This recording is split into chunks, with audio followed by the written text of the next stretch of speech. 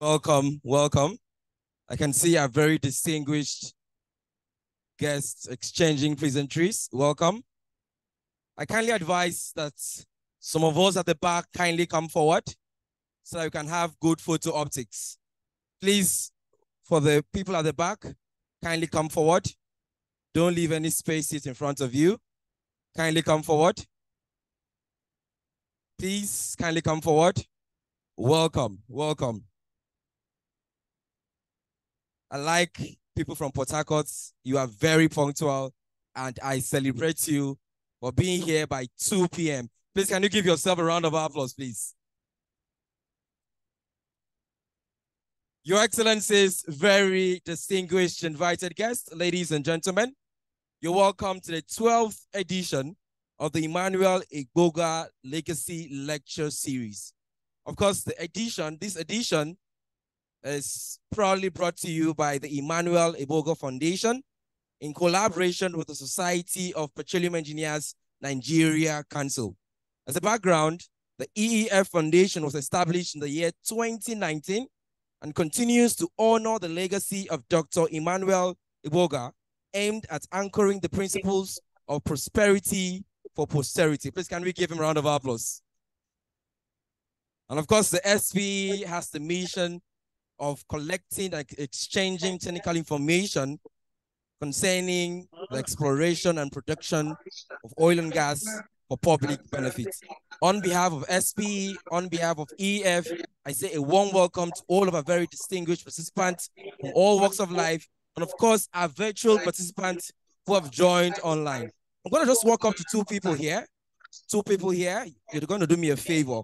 The first question I'm asking you is, what legacy, yeah, yeah, Dr. Emmanuel Egbogah, do you appreciate so much and still remember till today? So I just need two people, a male and a female, to give me that response.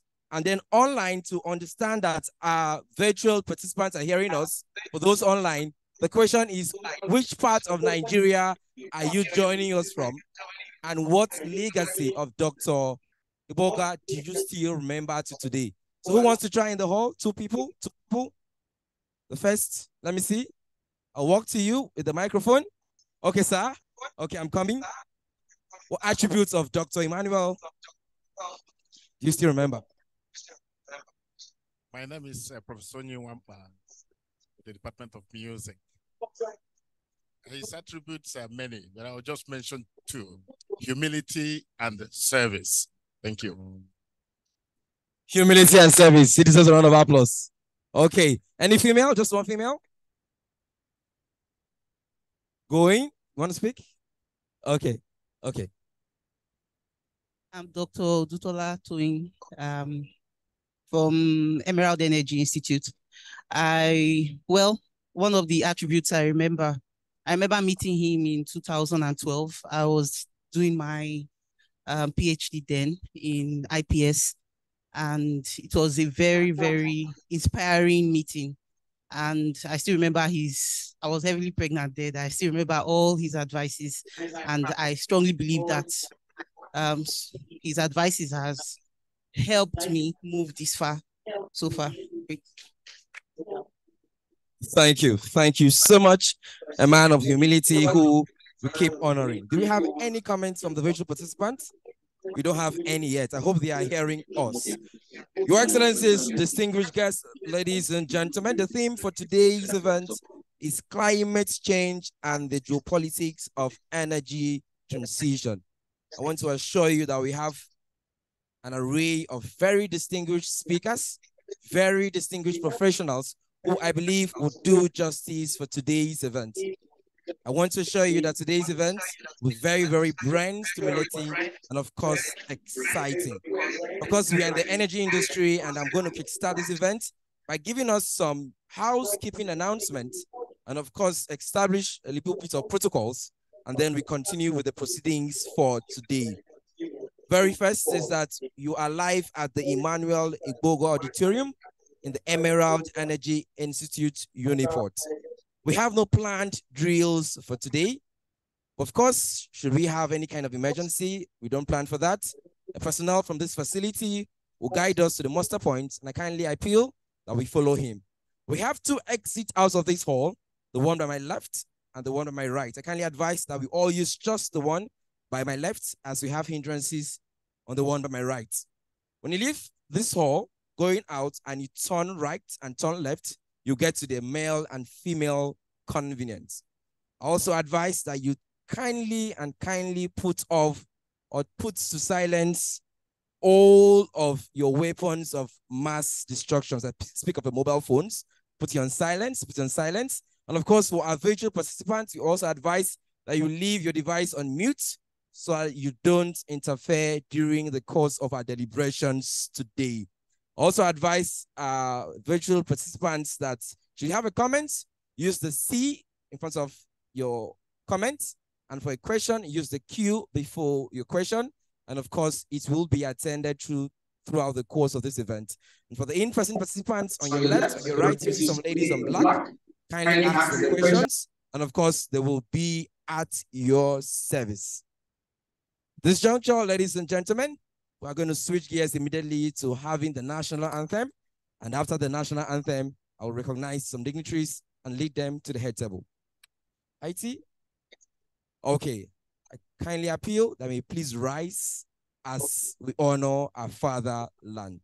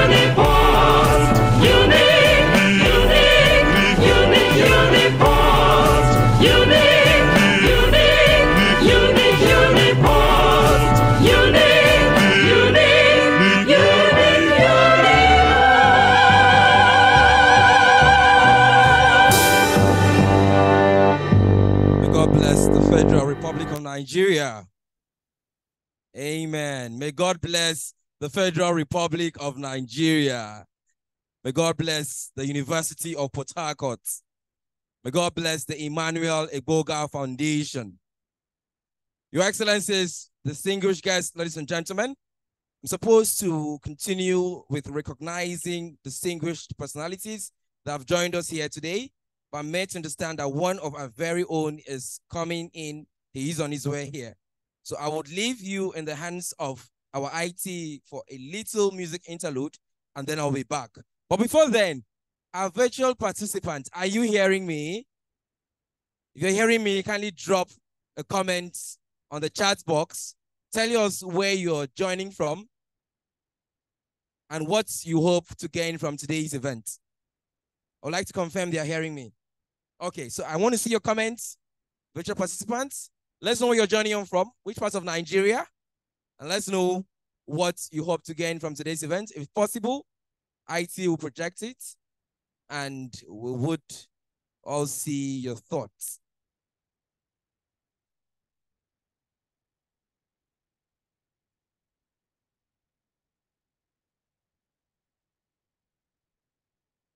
Today's event, we'll be having and learning from distinguished industry personalities.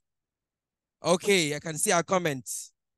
Daniel Ndefo from Lagos. Lagos, we see you. What do you hope to gain from today's event? What do you hope to gain from today's event? Why did you decide to tune in from all parts of Nigeria? I can see so many names from Lagos, from Delta, from Abuja.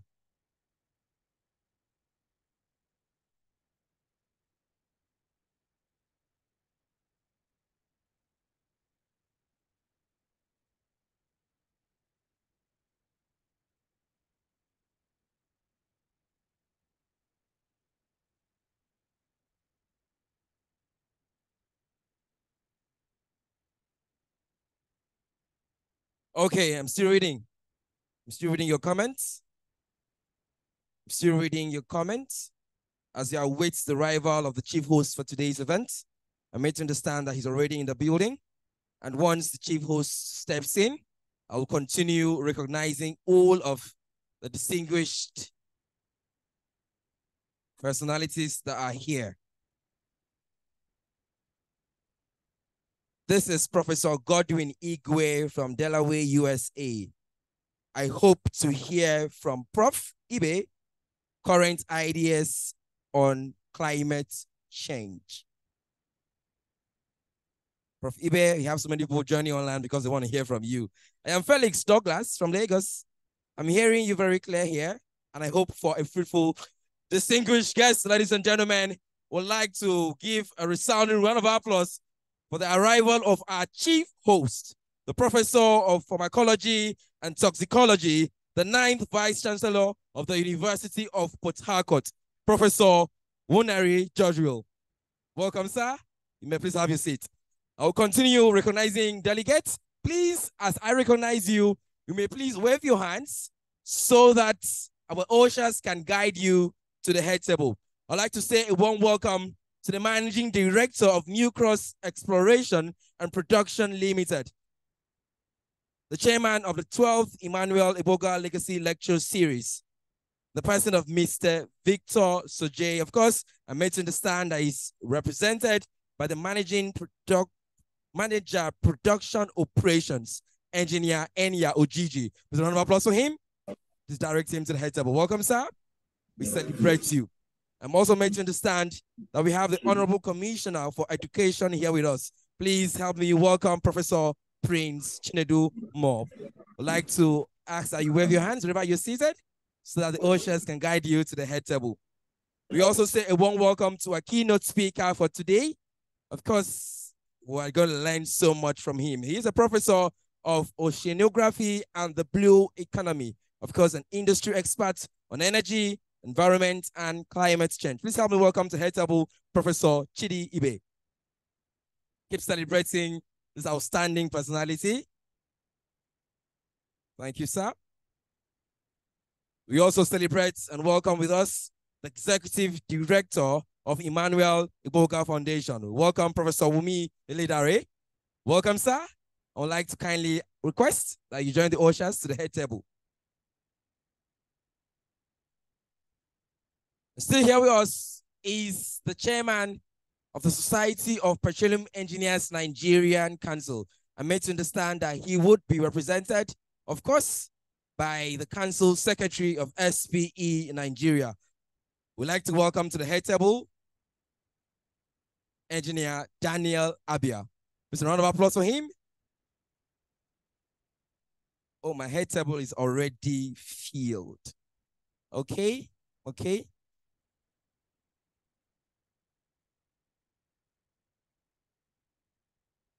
And of course, we also like to say a warm welcome to the Emmanuel Chain Petroleum Engineering, University of Port Harcourt. And of course, the Vice Chairman, Board of Trustees, Emmanuel Egbogah Foundation.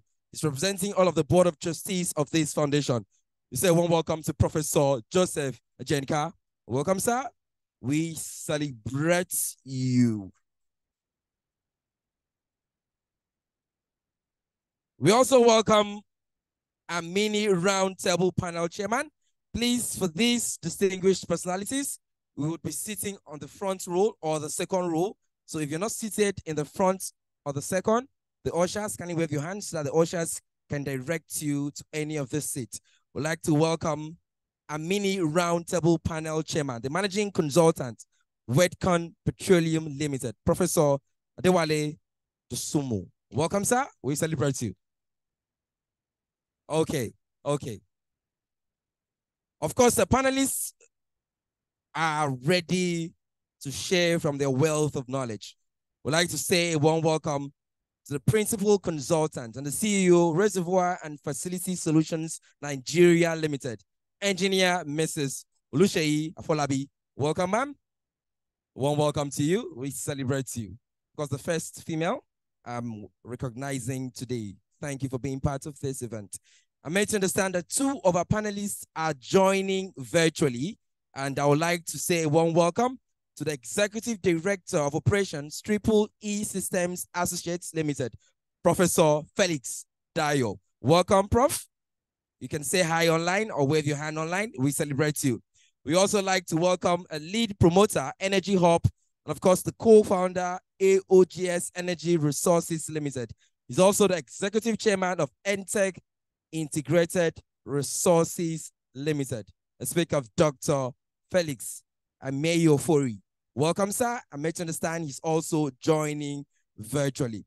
I'd like to welcome all of the sponsors that have agreed to sponsor today's event. Please, can we celebrate all of our sponsors for agreeing to sign the check that has allowed this event to be a success? Speaking of the rep from Walter Smith, Petroman Oil and Gas, please, wherever you are, wave your hands. Oceans, please direct them. Walter Smith, thank you, thank you for sponsoring this event. We also like to also recognize New Cross Exploration and Production Limited, New Cross Petroleum Limited. Thank you for being a sponsor, a chair for today's occasion. We also like to say welcome to Oida Energy and Zenergy Oil Field Services Limited. Wherever you are, please wave your hands, the rep. Let the ushers bring you to the head table. We'd like to say thank you to Laser Engineering and Resources Consultants Limited. Please, wherever you are, wave your hands. Welcome, welcome. Thank you, thank you, thank you. And of course, Petronet Africa Energy Resources Development Associates Limited. Thank you, thank you, thank you. Wherever you are, thank you. We'd like to say a warm welcome to the Managing Director, Kenyon International West Africa Company Limited, Engineer Ikpeyong. Thank you so much for accepting to sponsor this event. And of course, the last but not the least of our sponsors, Sequest Exploration and Production Services. Please wave your hands. Thank you and thank you. I'd like to welcome all of our very distinguished speakers. I'd like to welcome the Director of Emerald Energy Institute of the University of Port Harcourt, Dr. Chikozie Nwaozuzu. Welcome, sir. Please wave your hands. Let the ushers. Okay. Welcome, sir. We also like to welcome all of our virtual participants. Speaking of the Emmanuel Egbogah family. We welcome the matriarch of the Emmanuel Egbogah family, Madam Chirota Emmanuel Egbogah. Welcome, ma'am. I know you're online. Thank you for being part of us today. We also welcome Dr. Emeka Egbogah, who's the chairman, board of trustees of the Emmanuel Egbogah family. Welcome the manager of EEF, Dr. Susan Fubara, all members of the board of trustees of this foundation, senior and professional members of the Society of Petroleum Engineers Nigerian Council, For time, I may not be able to call of all of the captains of industry here present. We celebrate you and we welcome. Welcome all of our student members, all of the students from Uniport.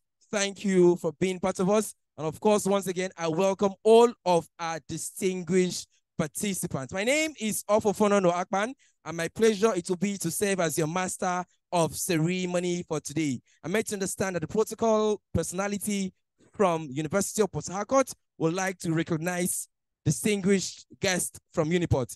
I would like to welcome the PRO from Uniport. Please round of applause for him as he does the welcome, and I'll be back after he's done. It is a pleasure to welcome you all to the unique University of Port Harcourt. And let's come back home uh, it is my pleasure to specially recognize other distinguished personalities we have here from the University of Port Harcourt. And of course, our Vice Chancellor is already stay here, the ninth Vice Chancellor. And of course, you understand that in one of the latest rankings that was done, University of Port Harcourt was adjudged number one in Nigeria, number one in Nigeria and 19 in Africa. So we are doing very well. Thank you so much, sir. It is a pleasure. I also want to inform us that we have the Deputy Vice Chancellor, Research and Development in our midst here today, Professor Iyopu Semilaye. In our midst today, we have the Registrar of the University, Dr. Gloria Chinda. I also want to use this opportunity to also inform us that in our midst today, we have very senior professors here. I mean, senior professors and directors of centers of uh, an institute already seated here. Let me briefly recognize the presence of an elder scholar, Professor Eme Ekekwe, in our midst today. You're welcome, sir.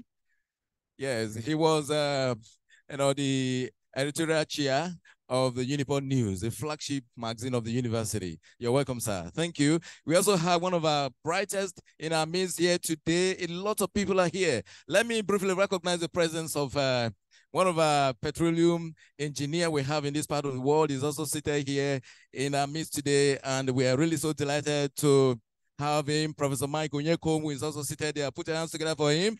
Thank you very much. Let me very briefly recognize the immediate past director of uh, University of Harcourt Foundation is also in our midst today. Professor Yanso is also seated here. It's a pleasure. And of course, we have the director of C4 Center Leader, Professor Abagba is also seated here. It's my pleasure to welcome you. The director of Youth Friendly Center, Professor Kunta, is also sitting here. We have other distinguished personalities sitting here today. We also have Professor Ikensi Mama, is in charge of the professorial chair of, of uh, Shell, Arrett Adams. Thank you, sir. It's a ple pleasure. We also have other distinguished people here. Director of the Nuclear Center also seated here. Please, you're welcome, sir. And uh, it is on this note, I want to inform us that we have the director of IPS, Professor Apa Dulu, seated there. Thank you very much. Thank you very much. As far as my eye can catch, Professor Hart is also here from INRES. Thank you very much, ma'am, for finding time to be here. And of course, the wife of the uh, seventh Vice Chancellor of the University of Harcourt, Dr. Mrs. Ajienka, is also sitting here in our midst today. So I want to thank you so much for finding time to be at the University of Port Harcourt. All our online viewers, please, you are welcome to the unique University of Port Harcourt. Please, we are very hospitable and friendly, and we promise that we'll, we are going to take good care of you today. Thank you. Let me hand over to the MC assigned for this responsibility. Thank you. Please, can we give our PRO another round of applause? So many professors in one room. So many with an experience of over 1,000 years. We are so lucky. We are so blessed. Please, can you give all of the professors here a resounding round of applause? I meant to understand that Professor Oyin Wanko is also here. Welcome, sir. Welcome. We celebrate you. The theme for today's event, of course, we are well aware of that climate change and the geopolitics of energy transition. So much conversation about this topic lately energy transition, renewable energies, so much. And I'm not going to bore you. We have distinguished personalities who will do justice to this topic. Of course, to start this event, I'd like to welcome for a welcome address, a man who I'll define as a glue who has binded this foundation together. Please, with, with an applause befitting of a reputable gentleman. Let's welcome the Emmanuel Egbogah Che and Petroleum Engineering University of Port Harcourt, Professor Joseph Ajienka, for his brief welcome address. Please give a round of applause, please.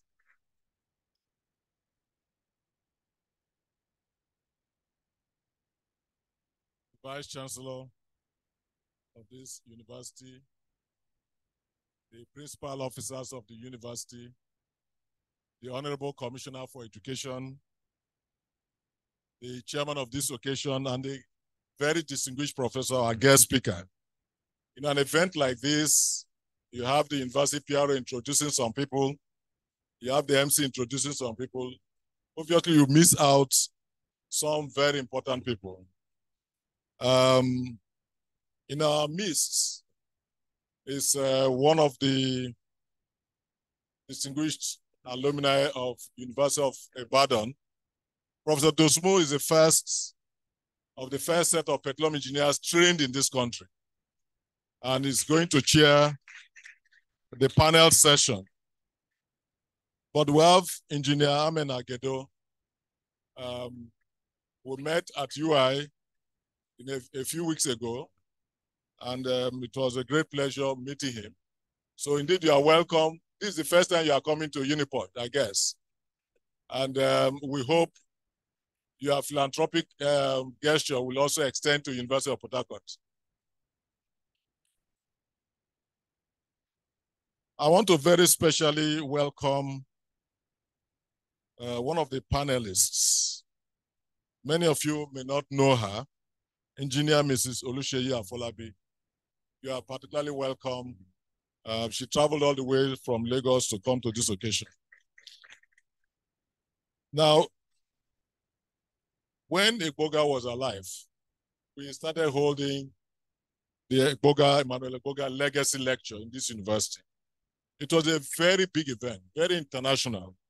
People used to come from the National Institute in, uh, in uh, Jos. Even military officers used to come and listen to the lecture series. And I want to thank my colleague, Professor Wumi Ledare, for all the effort that have been made to ensure that we get sponsorship for this lecture. But more importantly, I want to draw your attention to the guest speaker of today. You all have the program. I'm sure you have seen his profile.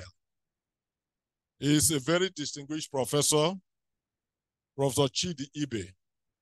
Some of you in the university also know him, a former pro-chancellor of Imo State University, a very distinguished scholar, fellow of the Academy of Science, and an international public intellectual. And I'm sure at the right time is the citation, this brief citation will be read about him. When we are looking for who should give this keynote address, and he accepted to give this lecture, we're all very happy. And indeed, the Emmanuel Egbogah Foundation was very happy that he's the one going to give this keynote address. So my duty is to welcome all of us to this event our colleagues online, the Boga family online, is also participating in this event. But I would like to um, um, end my own part of the welcome address by reading um, something the chairman sent. I'm the vice chairman of the Manuel Boga Foundation. Um, Dr. Meka Egbogah is the chairman board of trustees of the Boga, Manuel Boga Foundation he sent this note and just a short note. So let me read it to conclude the welcome address. This year marks the fifth anniversary of Dr. Manuel Boga's passing on. He built an illustrious career, amassing several decades, ensuring the economic future of Nigeria, ensuring that the economic future of Nigeria would remain forever bright. And as you know, Dr. Boga was the advisor to President Yar'Adua on petroleum matters. Um, Dr. Boga chose this university as his own.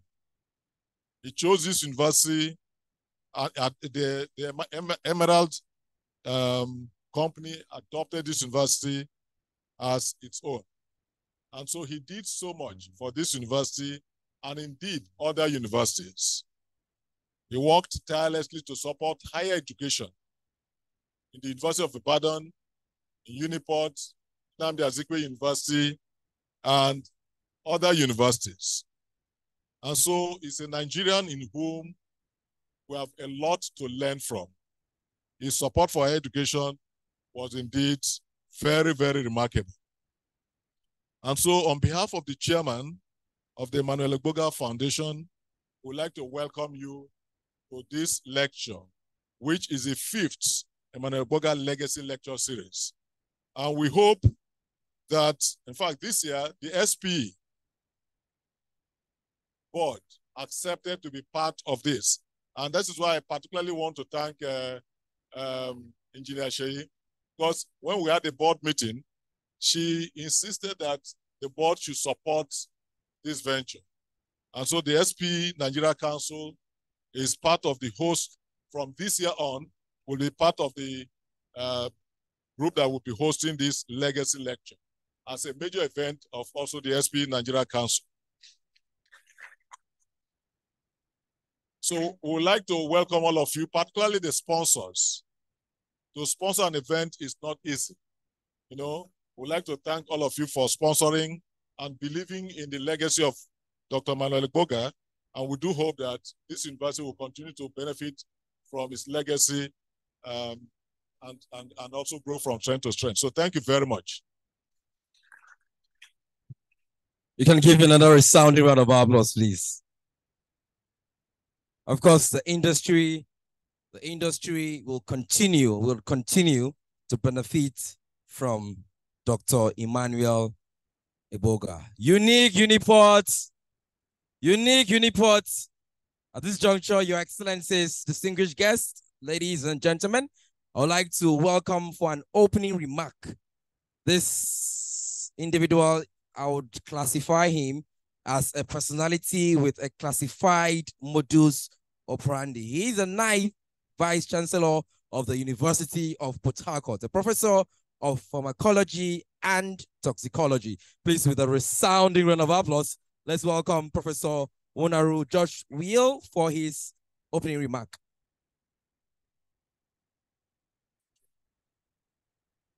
The former Vice Chancellor of the University of Port Harcourt, principal officers of the University of Port were here present, the chairman of today's event and the keynote speaker, other very, very distinguished professors, people from the industry. In fact, if you look around this hall, I don't even know how to do the introduction. The hall is uh, too loaded for an introduction.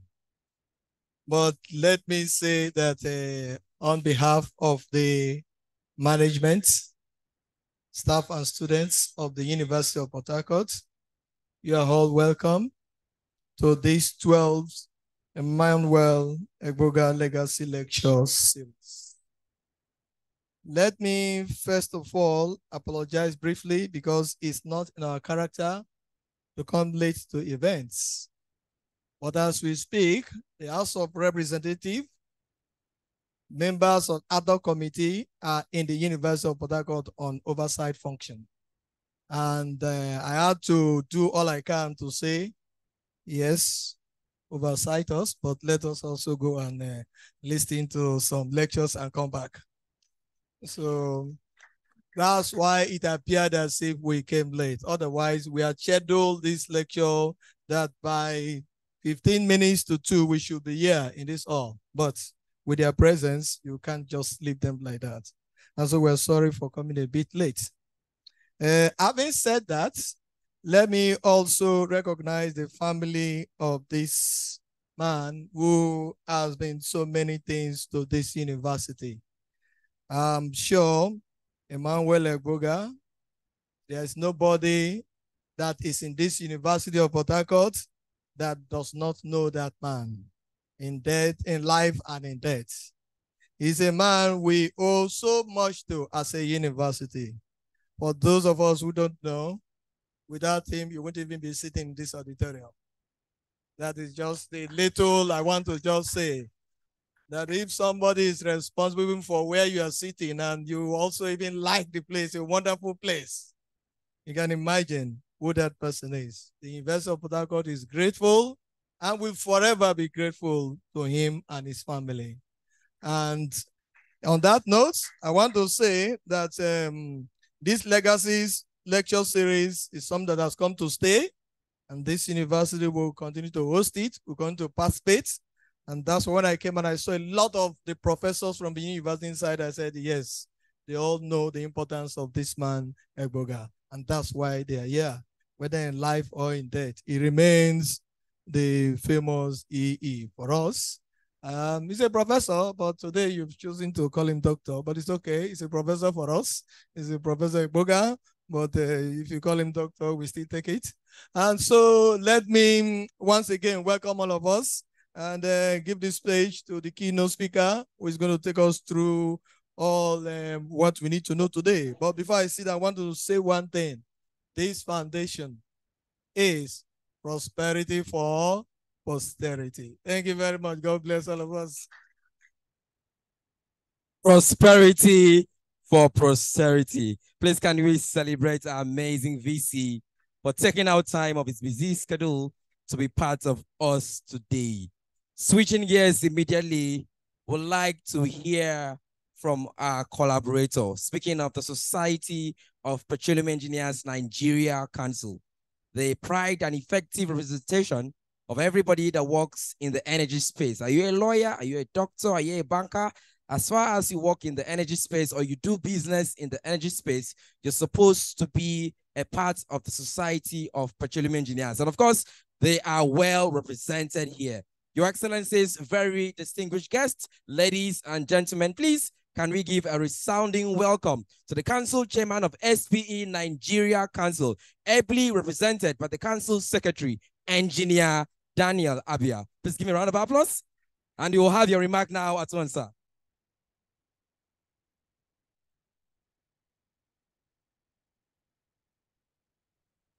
Good afternoon, everyone. Please permit me to stand on existing protocols. Um, I must say I am quite very privileged to stand before uh, distinguished ladies and gentlemen.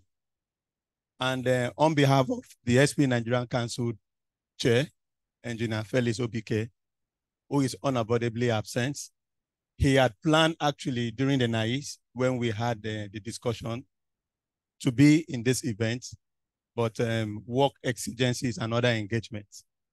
So let me also tender his um, apologies for not being here. From SPE Nigerian Council, we have a lot and we owe a lot of respect, honor to Dr. Emmanuel. He was not just a policymaker to the SPE Nigerian Council, but he was a true leader. He was not just a true leader, he was, he was able to mirror and develop other leaders for the SPE Nigerian Council. Right from his days as the African Regional Director, I think 2006, and many several leadership positions he has um, um, chaired in SPE Nigerian Council. As a council, we are yet to recover from all his achievements. And so we are part of this legacy um, engagement. And as Nigerian Council, we will continue to be part of this legacy lecture. For SPE Nigerian Council, the council chairman also extend the gratitude to Dr. Emmanuel. One thing he told me is I should put it in his words that as a council chair, he will be forever grateful to Dr. Emmanuel, not just for all the roles he played, but for Strides policies he helped to structure SPE Nigerian Council, which form part of our bylaws and input into our handbooks today. Having said that, I also want to join the Vice Chancellor to welcome everyone to this event, and I look forward to a very productive engagement in this event. Thank you very much.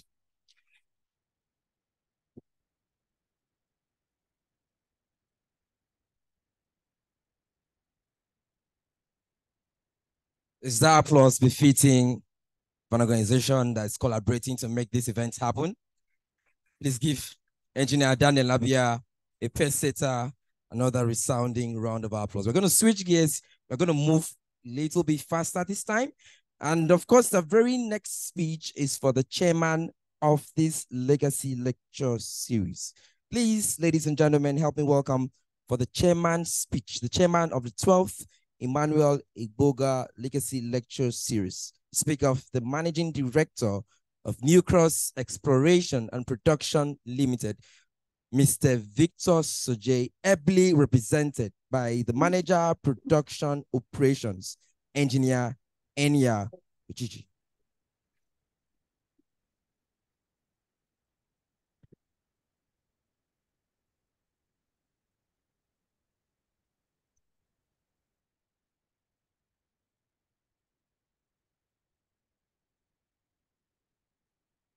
Okay, good afternoon, ladies and gentlemen. Good afternoon uh, to the chief host, the vice chancellor, of University of Port Harcourt, distinguished guests, and esteemed participants here and uh, online. Um, I'm here representing the managing director of New Cross and the chairman of this uh, occasion today, uh, Mr. Victor Soje, who is unavoidably absent, is in Abuja right now, attending to six um, issues with the National Assembly. So he couldn't come. So I'm here to represent him. So I have his uh, keynote address here, and uh, I'll read through it. It is a privilege to welcome you all to the 12th Emmanuel Egbogah Legacy Series that explores the intersection of climate change and the geopolitics of the energy transition. Today, we gather not only as concerned citizens of our, of our planet, but as global stakeholders in a world facing profound changes and challenges. The Emmanuel Egbogah Foundation, which was established in 2019 by late Dr. Egbogah, OON, in a bid to advance knowledge and national capacity of, of managing petroleum and energy resources for optimal economic benefits and maximum social welfare of Nigerian citizens.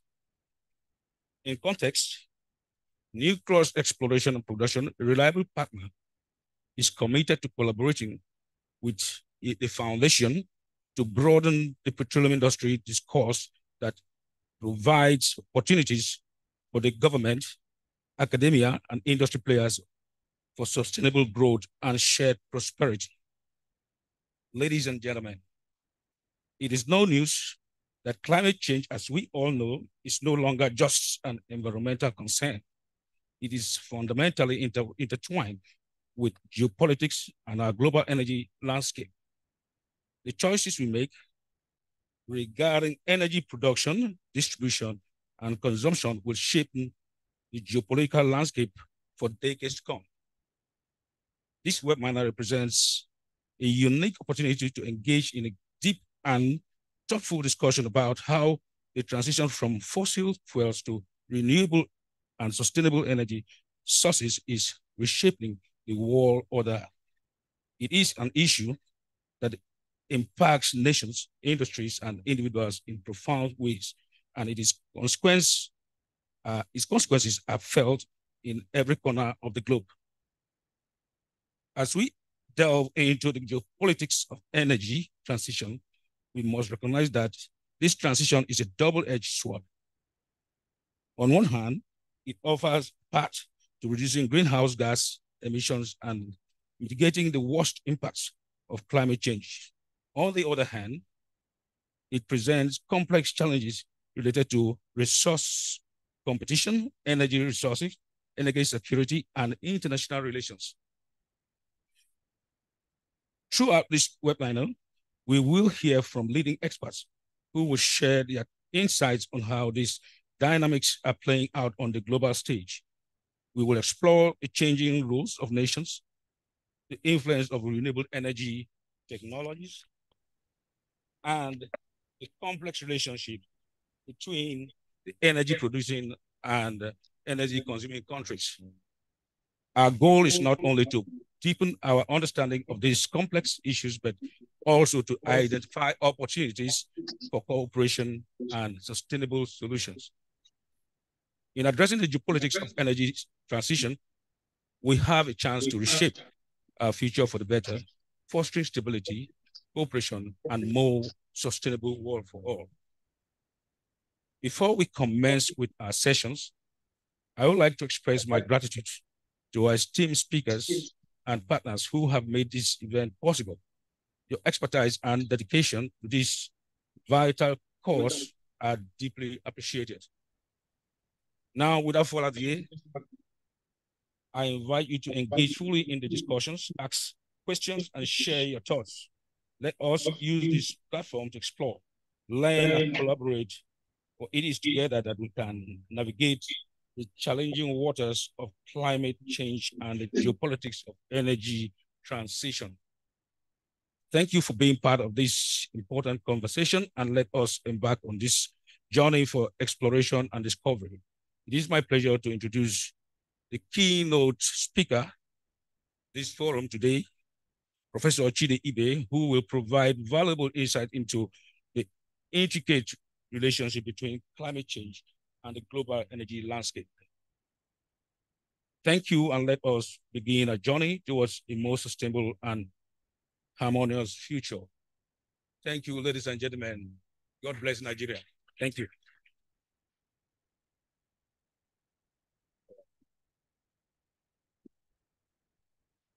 Is that was fitting of the 12th, the chairman of the 12th Legacy Lecture Series.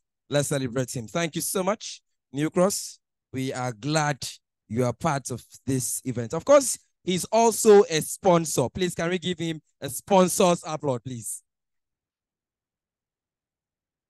Your Excellencies, very distinguished guests, ladies and gentlemen, for the next 15 minutes, we will be learning from the reason why we are here. I would say the peak of today's event. I'm going to quickly read the profile of our keynote speaker. I believe it's going to be on the screen. And for those online, I believe you would be seeing it. Profile of keynote speaker with academic and professional qualifications in geology, engineering, chemistry, and oceanography, including a PhD and DIC from the Royal School of Mines, Imperial College of School of Science and Technology, United Kingdom, London, UK, Professor A. Chidi Ibe is a retired United Nations technocrat, diplomat with service spanning over 20 years in UNEP, UNESCO, UNIDO from 1989 to 2008. Please let's celebrate him. He's outside here.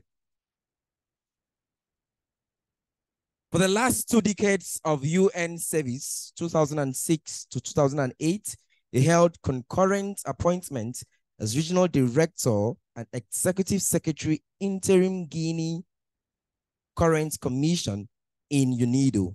His areas of expertise and experience include oceans, blue economy, energy and environment, natural resource management, sustainable industrial development, education, He's a long-time university teacher. He has been a pro-chancellor and the chairman of the governing council, Imo State University, from the year 2008 to 2011. Of course, the chairman visitation panel to federal universities in the year 2001.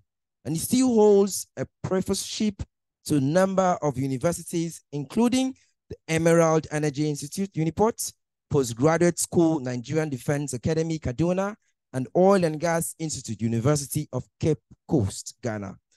Professor Ibe is the author and co-author, editor, co-editor of 19 books and manuals. A round of applause, please. 15 books, chapters, and over 100 technical papers in reputable journals and referred conference proceedings. I like that. I like that. I like that. You're proud of you, sir. Of course, over 50 major consultancy reports for the United Nations systems, national government, and the private sector. The Library of the Institute of National Resources, Environment, and Sustainable Development Uniport. Of course, he is named a Chidi Ibe Library to honor him. Wow, wow. He has been chairman, House of Reps panel of experts on climate change policy and legislation from 2010 to 2015. And of course, a fellow of the Nigerian Academy of Science and the New York, USA Academic of Science. Professor Ibe was appointed an NUC Distinguished Scholar in Diaspora in April 2011. He is the chairman of the non-for-profit Sustainable Energy Association Nigeria. Ladies and gentlemen, we are welcome. Please let's give a round of applause as we listen to a pace setter, a jinx breaker, an industry icon, a man of wonders. Please, a resounding round of applause for Professor Chidi Ibe, Professor of Oceanography and the Blue Economy, an industry expert in energy, environment, and climate change. Sir, the stage is yours. Keep clapping till he gets the mic from me, please. Thank you very much. Um, I'm pleased that our paths uh, have crossed again. Um, I'm very delighted and honored to be here today. Um, I would like to salute the um, ninth Vice Chancellor of the university. Despite all the um, commitments you have, added to the routine engagements that a VC normally should have. You made it a point to be here today. I thank you for this singular honor, uh, Mr. VC. So what is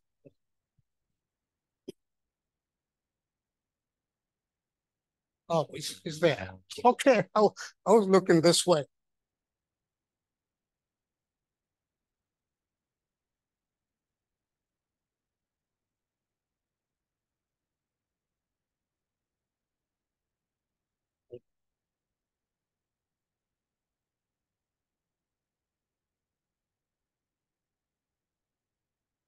I wish to, um, after the VC, recognize uh, the chairman of this occasion.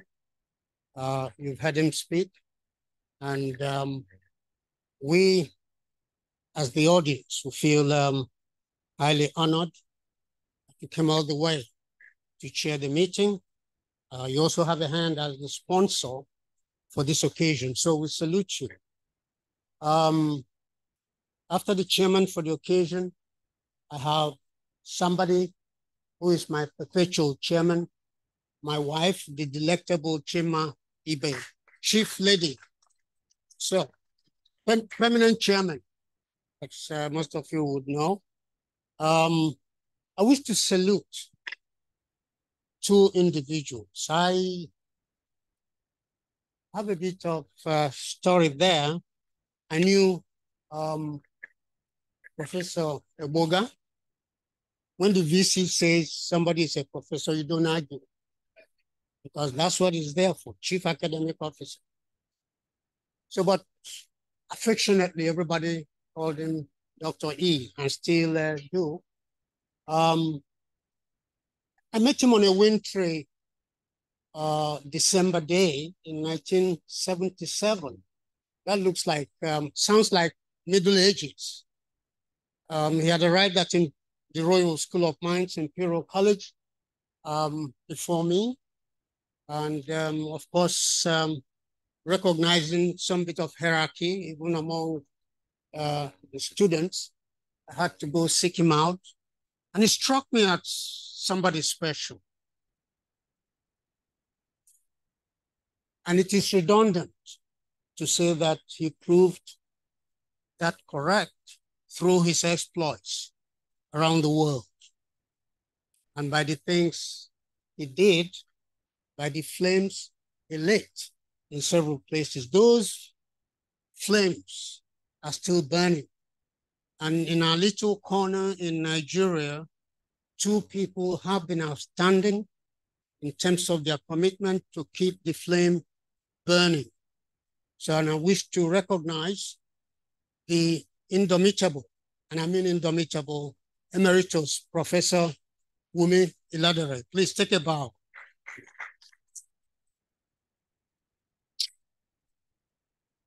And the second person I wish to recognize in a special way is, of course, somebody most of you are familiar with, our seventh um, Vice Chancellor of this university, who did a lot in terms of transformational leadership. So I wish to recognize and salute the indefatigable, eminent Professor Joseph Ajienka.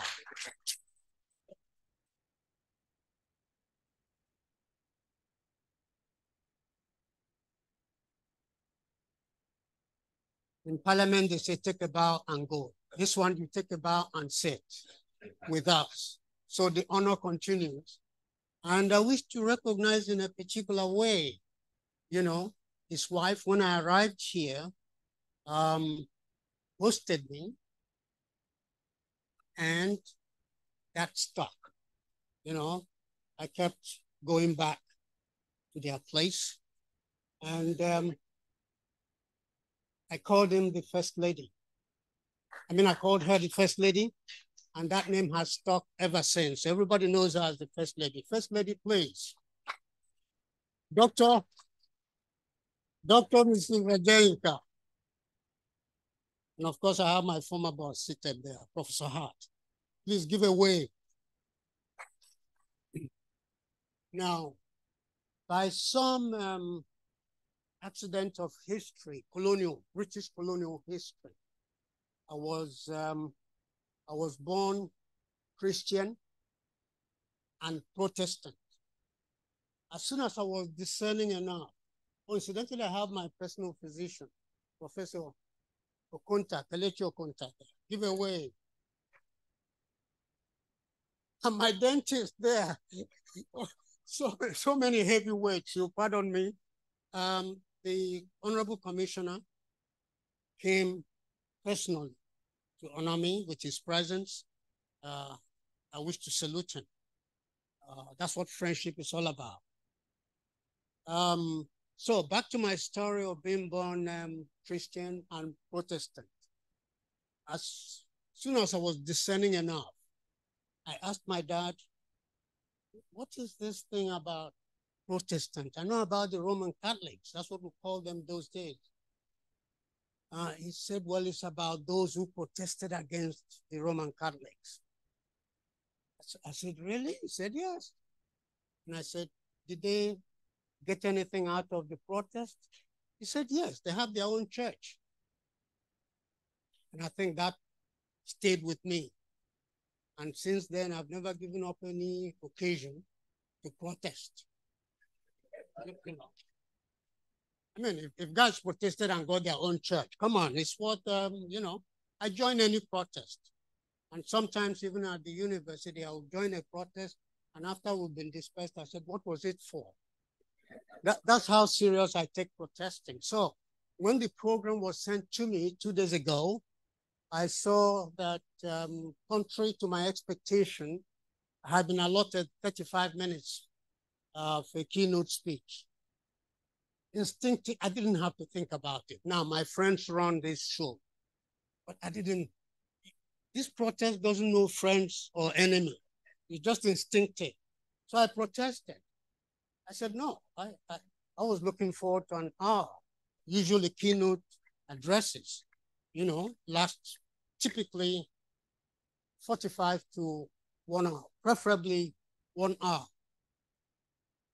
And like I asked my dad, and he said they, they, they gained their own church. They gave me 50 minutes. It's the equivalent of getting my own church, Mr. Chairman.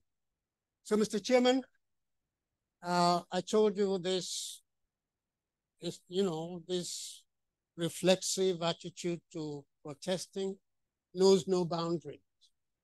So I recognize that you're chairman but I need my 50 minutes. And if it doesn't happen, I'm going to protest. So, So if I were you, Mr. Chairman, please don't go there. Just let me go. I'll try and remain within the um, 15 minutes uh, allotted to my uh, speech. So let's go. Now, there's very little doubt that um, our globe, as the Earth, has been warming. And this has been more patent since the uh, industrial era, which began in the 18th uh, century. And it's gotten worse over the last few decades uh, because each succeeding decade has been warmer than the previous one.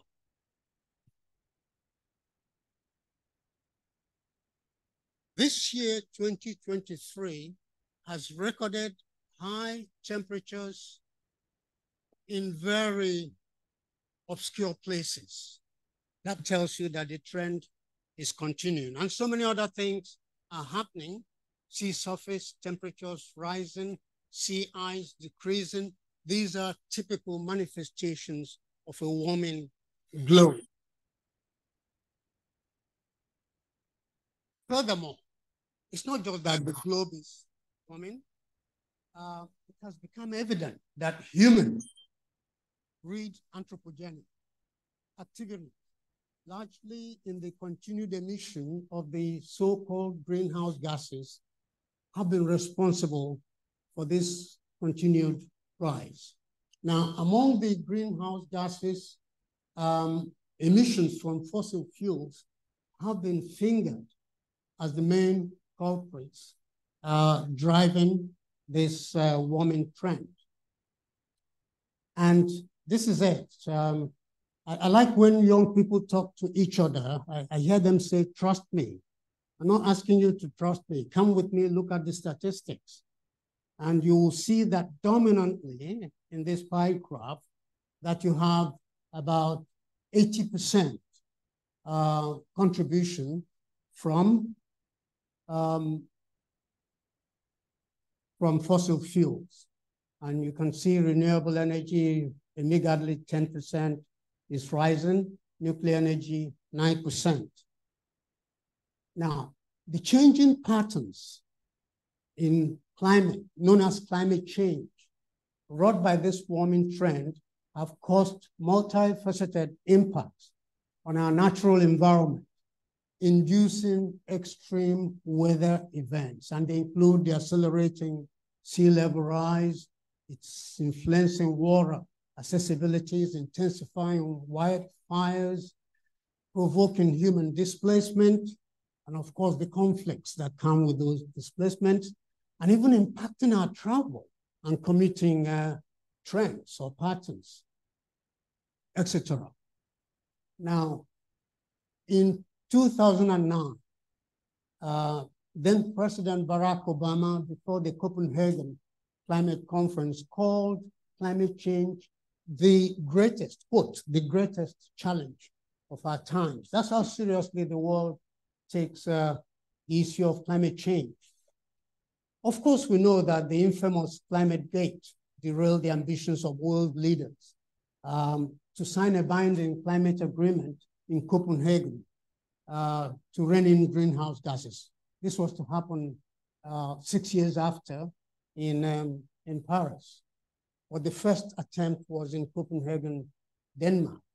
Now, internationally, the climate negotiations rolled on and propelled by doomsday scenarios um, painted in the several uh, IPCC reports. The IPCC is the Intergovernmental Panel on Climate Change. Um, And of course, the, the, the voices, protests, or urgings of the environmental action groups, um, climate change was elevated. For good reasons, it was argued to an existential threat. Fossil fuels, which had been fingered as the main culprits, um, slowly but surely became, quote, marked for extermination. It was in these circumstances that the world leaders met um, in um, Paris in December 2015, and backed by the famous or infamous National Determined uh, Contribution document, signed the landmark Paris Climate Agreement, the PCA. Today, Mr. Chairman, climate change is driving policy shifts, um, reshaping industrial and commercial activities, and indeed paving the way for novel opportunities and challenges in the spheres of energy development and agribusiness with the promise of a more conducive and sustainable world.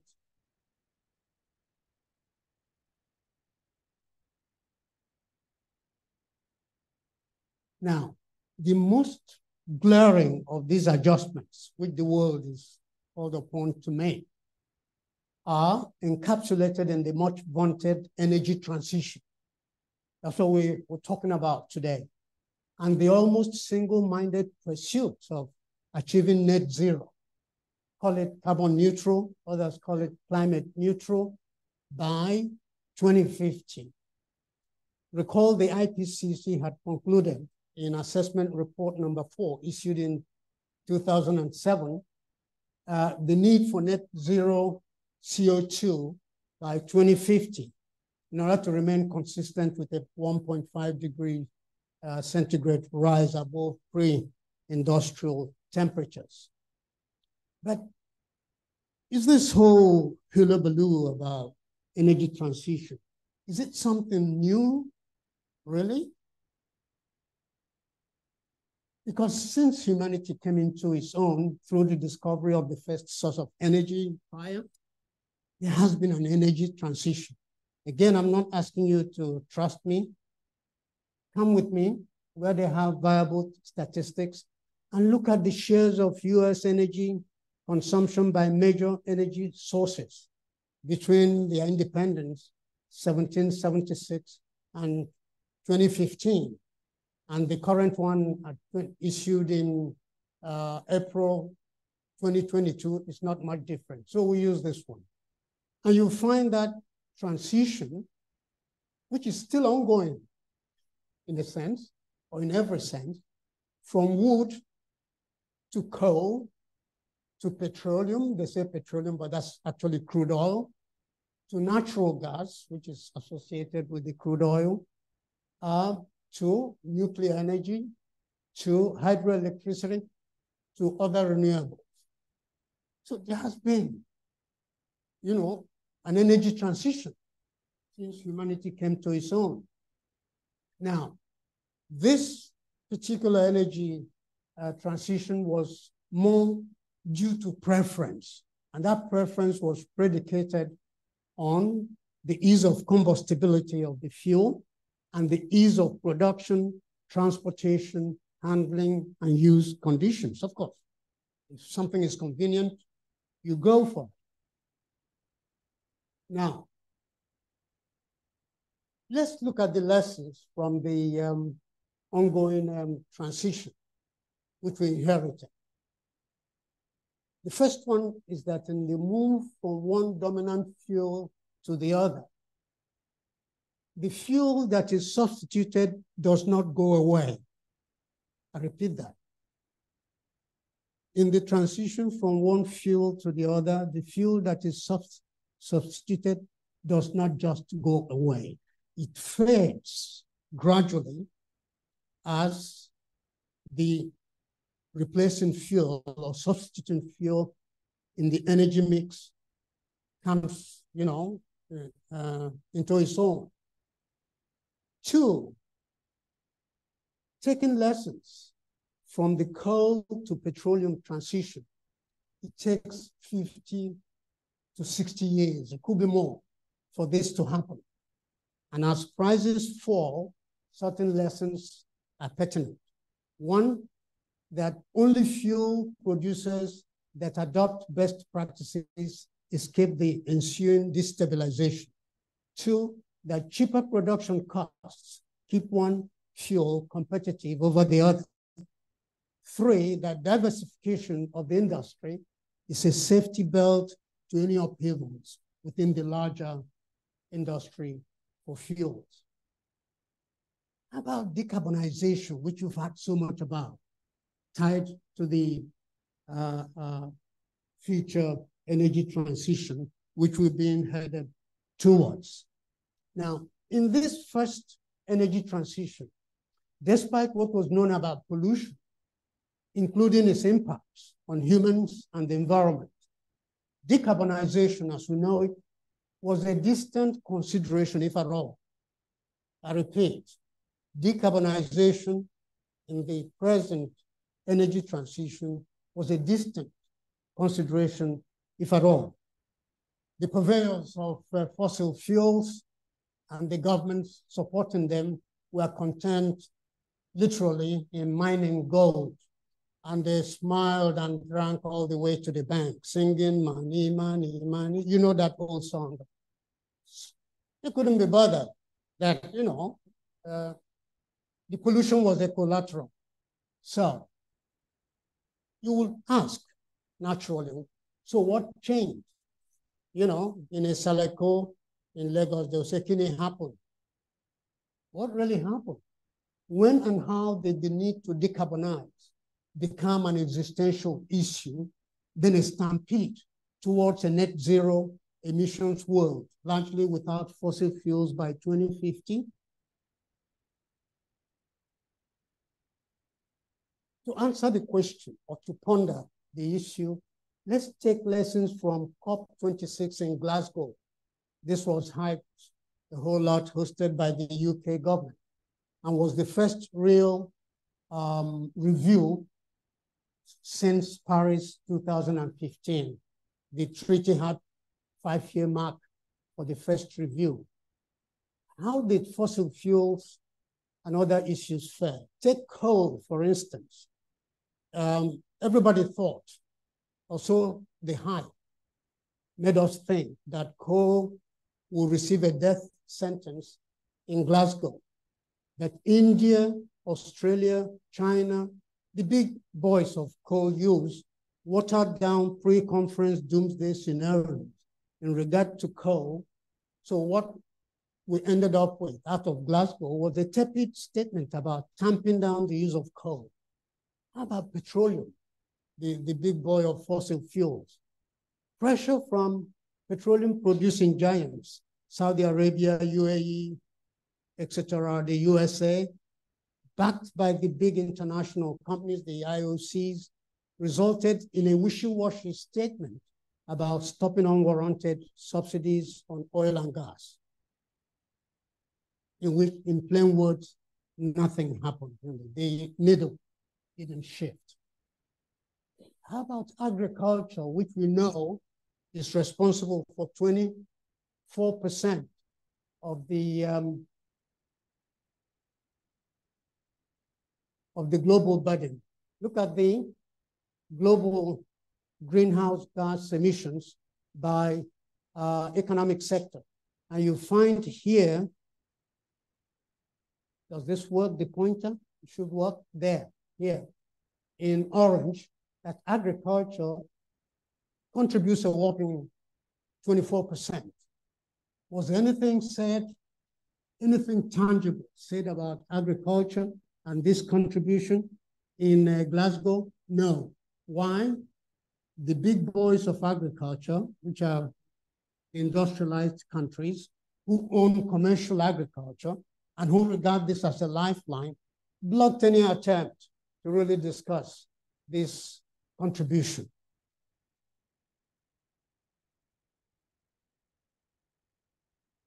And how about the CCUS, which is carbon capture, utilization, and storage, which are a suite of technologies that can help reduce the pressure on fossil fuels and achieve net zero emissions. In fact, this suite of technologies is touted to be the key, the answer, at least in the last uh, few years. The answer to arriving at net zero uh, quickly, at least by the target, or even before then. But what happened? There was no little appetite to explore these in Glasgow. Take two examples of the um, carbon capture and utilization storage. One comes out of my old place, Imperial College, uh, London, that have established a new platform which could boost, I mean, boost development of carbon capturing barrels.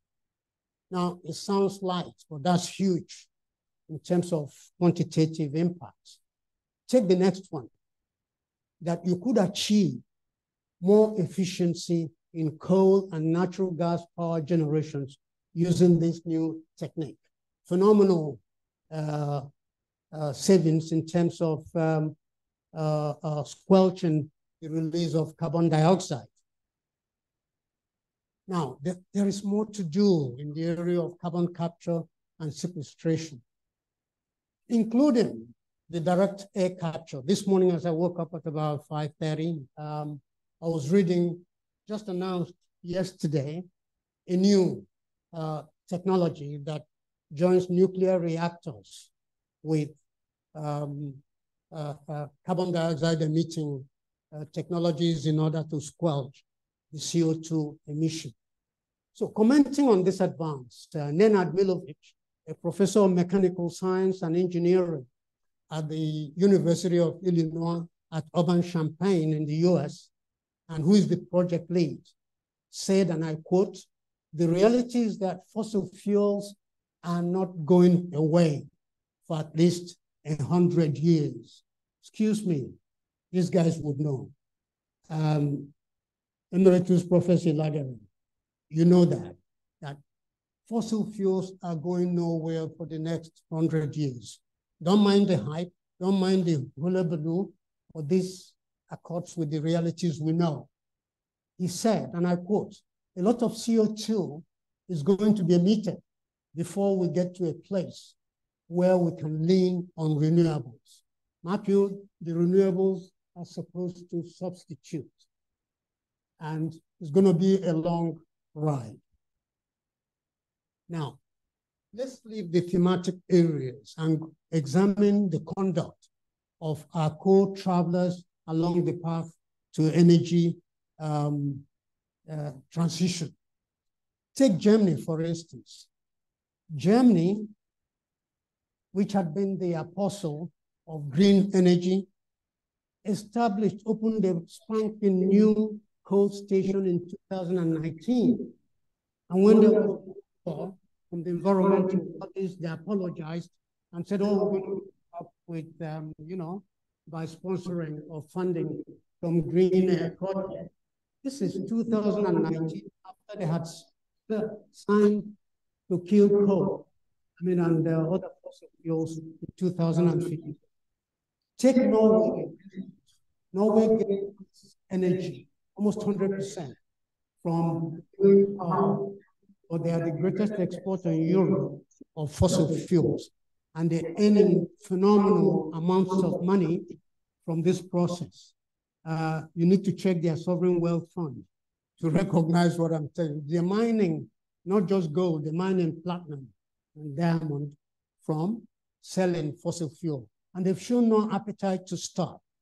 Look at the USA, fresh from Glasgow um, and claiming court order, um, they opened bid rounds for new acreages for petroleum exploration. And of course, th those were quickly snapped up by their big boys, ExxonMobil and uh, Chevron. And now there are noises that there'll be new bids in the Gulf of Mexico. The one in Alaska, Biden had blocked, which was, but the show goes on, you know, as it were. Look at the UK. The, the, the issue of UK is a little galling when you think about it, for those of us immersed in this politics. UK is delaying, after all the boast during Glasgow uh, 2021, which they hosted, they boasted that uh, the UK will be the um, Saudi Arabia of wind power. They boasted that they were going to stop uh, internal combustion engines by the beginning of the next decade, 2030. All sort of things were on the table, very enticing. But today, UK is delaying closures of their coal plants. UK is delaying closures of their nuclear plants. Worse still, only in November last year, Rishi Sunak, reacting to the energy demands, uh, uh, approved the establishment of a brand new coal mine in Cumbria Wells, uh, which will be operational in a few years. So they're looking into the future. They're seeing something and telling us something else. Now, EU and the um, Russia-Ukraine war, all of you are familiar. Well, what? How the European Union um, countries panicked after the start of this war.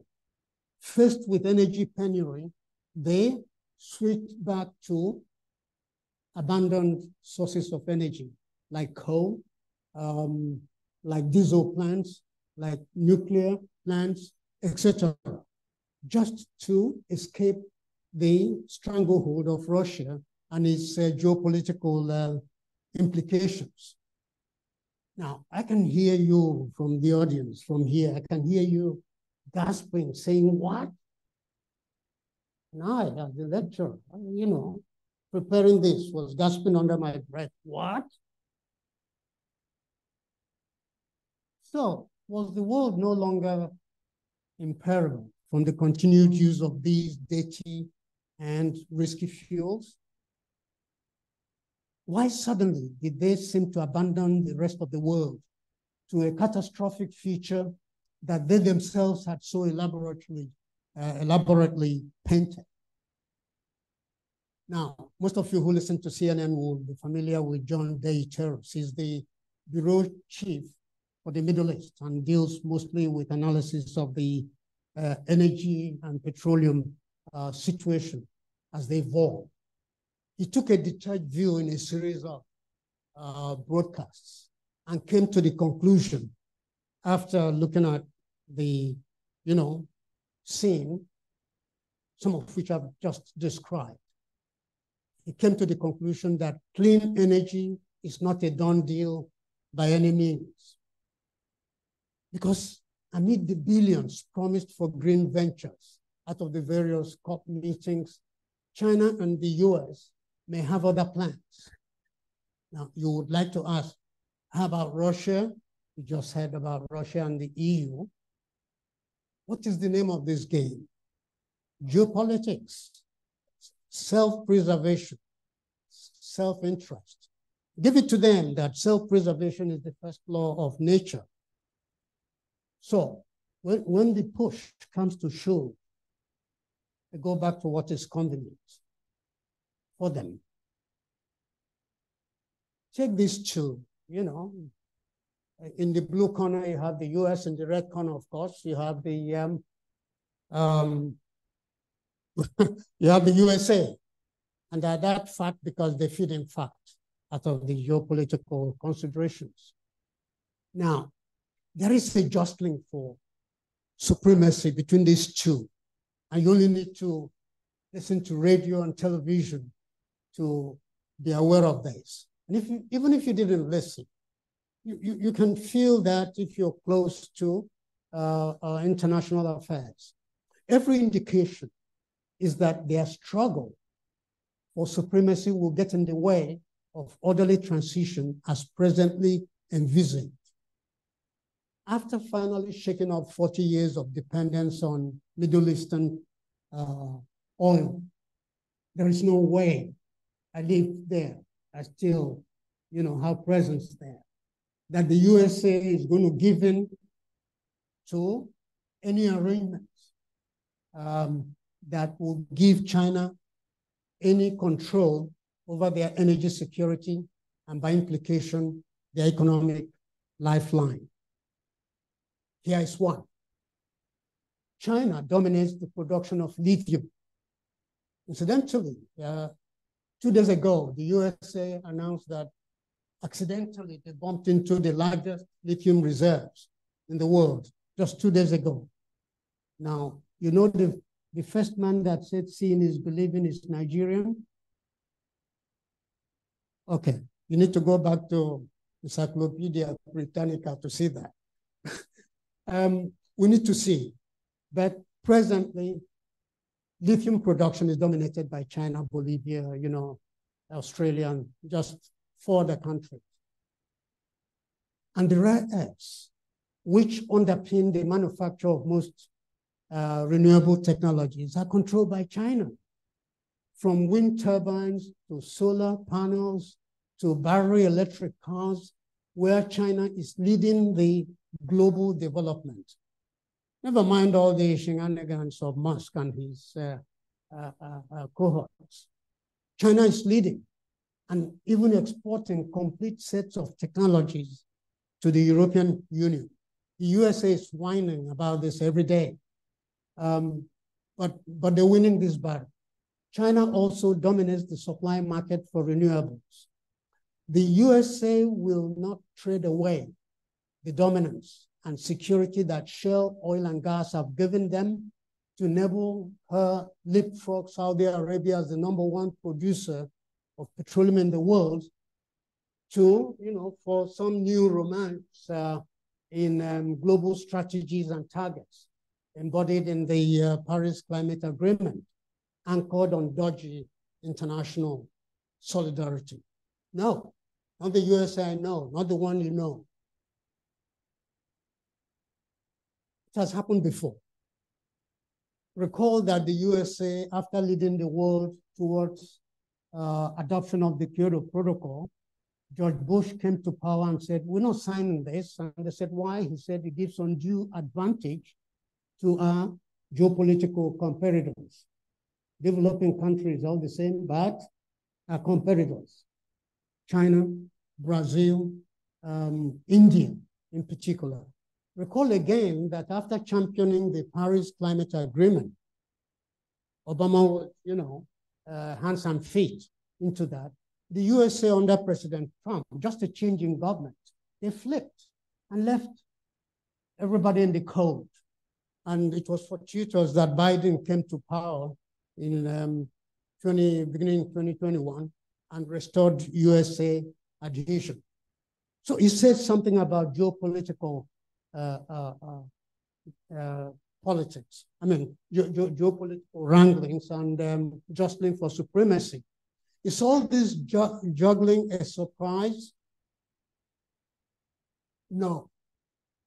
I'm sure if I if I put that to vote, I will hear a massive uh, no, because the first trigger to the world of renewables, real trigger, um, and alternative energy was steeped in geopolitics, which played out exactly half a century ago.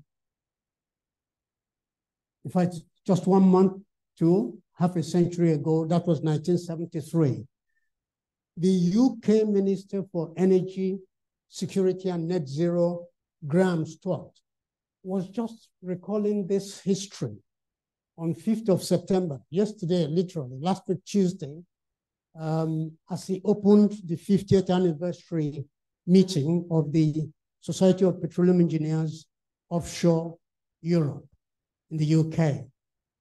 And the jostling has remained ever after, epitomized by the G20, G77, sometimes G77 plus China, the battles that played out on the shop floor as several conference of parties uh, under the UNFCCC rolled on. As a diplomat and technocrat in the United Nations system for 20 years across three strategic organizations, UNEP, uh, UNESCO, and UNIDO, I had a front row seat and sometimes was thrown into the rain, forced into the rain as these battles for supremacy and dominance and advantages played out. Now, an unusual event. Oh, this happened in Nehru. When I looked at it, I said, but I'm talking about unusual events. So if this slide is bent, it tells you a story about an unusual event. And that unusual event happened on Yom Kippur Day, 6th October, which was Israel's um, holiest day, a do-nothing day. The Egyptian army and other armies surprised them, and they were heading um, towards uh, Tel Aviv, singing victory songs when Israeli, um, Israel's um, Western allies intervened. And after dilly-dallying on October 14th, 1973, the US started arms delivery. Uh, UK and the rest gave them satellite imageries that enabled them to cut off the Egyptian army and almost decimated them before a ceasefire was called on the 25th of October. The Arab countries who were the trading partners of the West were shocked by this about uh, face on the part of those they trusted as their allies. The Arab countries cried foul, even treachery. Hey, we press the wrong one now. Okay, I got it. What happened? They instituted an oil boycott of the West, dominantly the US, but the West, Netherlands, Britain, you know, Germany, they cut off their oil. They said, keep your money. For this treachery, we're not going to trust you. We're not going to trade with you. And everywhere you looked in the industrial world, you saw lines of queues, you saw chaos that mimicked the situation where you have fuel scarcity in Nigerian cities. In the US, of course, when there's chaos, guns come out, and a lot of people were killed. You were living there, sir. You know that story. Oh, wait a minute, 73. Uh-uh. Sorry, sir, you, hadn't gotten there. Um, this was 73. My eyes were wide awake then. Um, by the time this boycott ended, it lasted a short, that short in human history but very long if you think that the West was, industrialized nations were totally dependent on petroleum as their energy source. By the time it ended, incidentally, it wasn't OPEC. I read from history, it's OPEC. It was the organization of Arab Petroleum Exporting Company, which was a precursor to OPEC. Um, but by the time the boycott was called off at this meeting, where is my pointer? You can see um, Sheikh Yamani in the middle there. He dominated the world of uh, energy and petroleum politics for a long while. By the time they called of the boycott of the West, oil had gone up from a niggardly $2.5 per barrel to $12.5 uh, per barrel threatening to bring the conveyor belts of production in the industrialized world to a screeching halt. Excuse me, things would never be the same again. I repeat, Mr. Chairman, after this, things will never be the same again in the world. And you can see that spike in 73, although a low came, but the spike went up again. It changed the whole oil dynamics.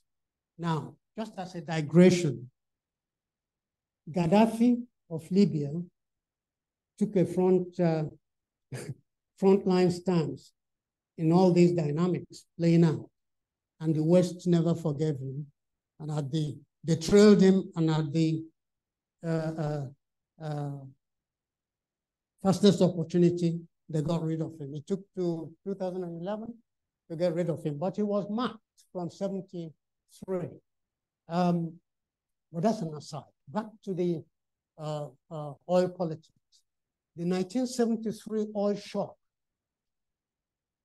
knocked the wind out of the global economy. It trailed into the 70s and helped trigger a stock market uh, crash, soaring inflation, and high unemployment, ultimately leading to the fall of a UK government. The Edward Heath government fell and was succeeded by Labour, Labour's uh, Harold Wilson. Boy.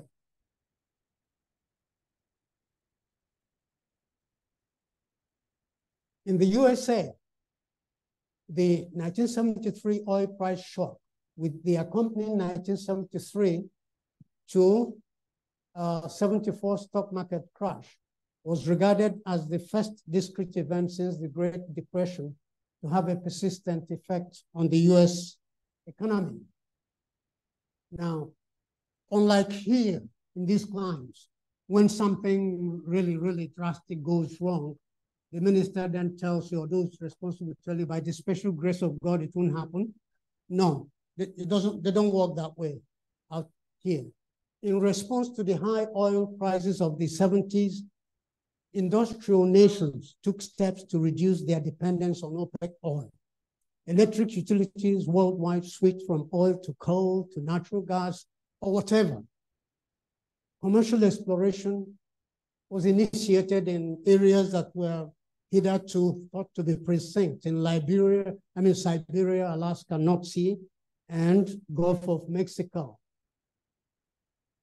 This was a knee-jerk reaction by industrial countries to stabilize their individual and collective economies to the shock of the boycott and the hiked prices that uh, that engendered.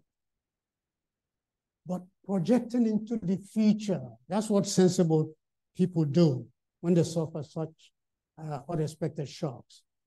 The industrial nations were determined, one, that never again, and I say never again, would circumstances outside their control threaten their energy security and by corollary their economies.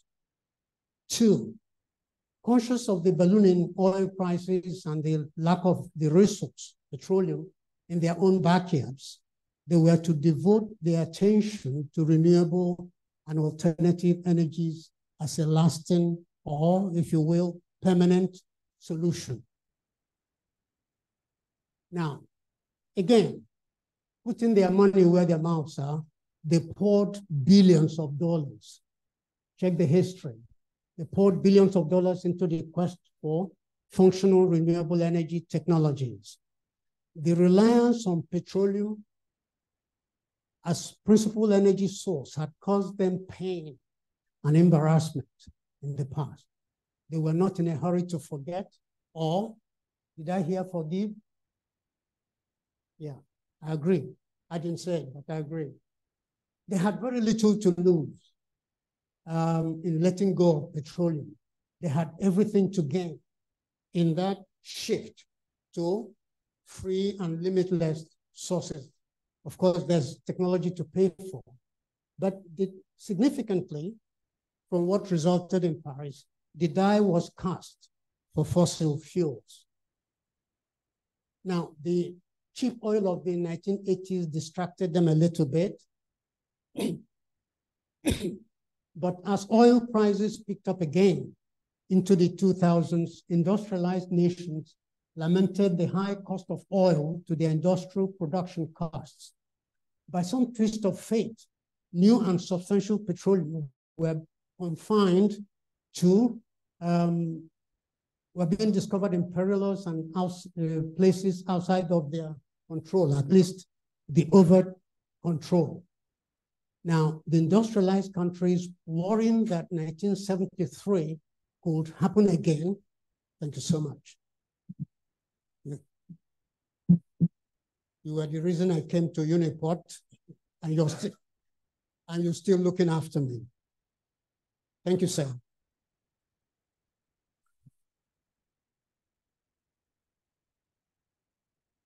Yeah. So the industrialized, the industrial countries worried that 73, you know, brought back the focus on consolidating renewable energy technologies and snuffing out fossil fuels and made very stunning progress. Remember what, of all his faults, remember what um, um, uh, Trump did in the case of COVID you know, usually these uh, vaccines take 10, 15 years minimum to go through the cycle. He engineered their Operation Fast Speed, and they did it in less than one year. They did a similar thing. they knew all the possibilities were there. But as long as things were going well, but when the crunch came, they put their development of renewable energy technologies on a fast track and made stunning progress. They made this progress. Now, armed with their resolve and confident of the progress in substituting conventional uh, with renewable energies, um, they turned their attention again to the kill fossil fuels uh, message. It looked from the outside a happy coincidence of climate science and technological prowess. But believe me, or you can read the history, the truth is that it had a large dose of hard-nosed deliberation and plan planning on their part. Again, I had a front seat as these uh, developments happened. Now, while the industrialized countries negotiated during the successive conference of parties, uh, did you hear that I'm a Protestant? No, I, I put my 15 minutes in the hands, not of the MC, but of the chairman. Okay, sir, so enough of this distraction now. Um, so, as they negotiated at the Conference of Parties, they were conscious of 1973 and the pains and the embarrassment fossil fuels caused them. In contrast, most people on the delegations of developing countries, the G77, especially African countries, came to these meetings with a naive notion of a charitable world where everyone was his brother's keeper. And most times they were sleeping or shopping in the streets of New York while the meetings were going on. And they had one-man delegations, you know, coming to discuss climate change. The man must have read something else, you know. And you look at the US delegation, Germany, um, UK, they have 30-man delegation. Each subset, in terms of specialization, the role will play, new set of people will come in, fresh brains, fresh minds, concentration. They took it serious business. So they didn't know. So apart from the naive worldview, it was impossible for many countries of the G77 to send experts to these meetings, as many simply had no expertise or money. Their negotiators often did not know if what was put to them was a fair compromise or a concession, which they were being inveigled into making. Furthermore, it did not help that at this time the G77 was somewhat fragmented. 2009, for the first time, the uh, industrialized countries put money on the table. They know how to, you know, engender the divide and rule uh, uh, policy. And once money is put on the table, even before it is seen, while it is still earmarked, the developed countries begin to scramble. You can see their eyes light up if you're in the room with them. And some start dreaming of skyscrapers they'll build in their home, home countries. So they use this to divide this thing. So, so the last, but back to the present.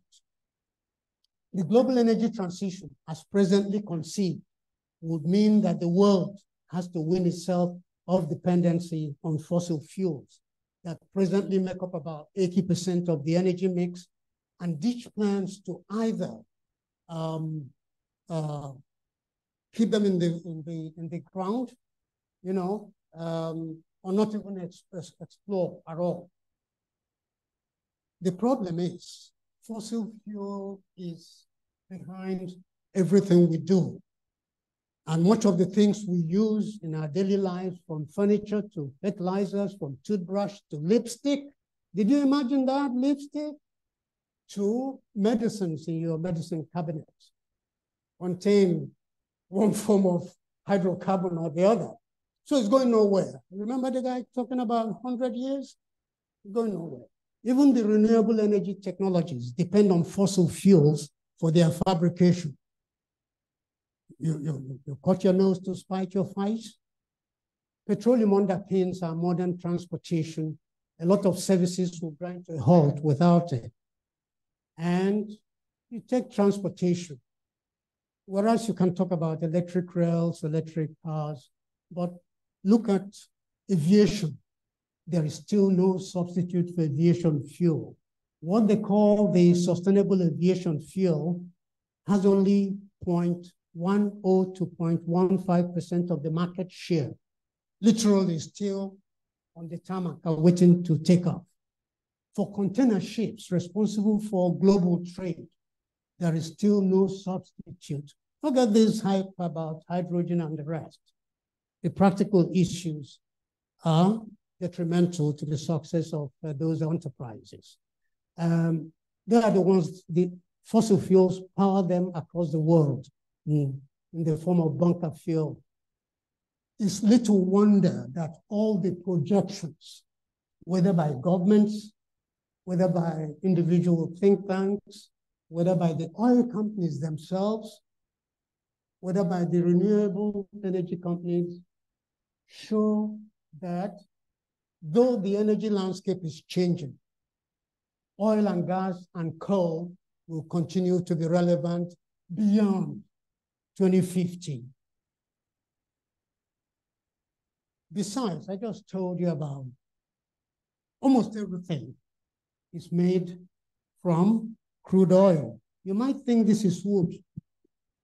Believe me, this is hydrocarbon. Almost everything. And so petroleum is feedstock for the industry.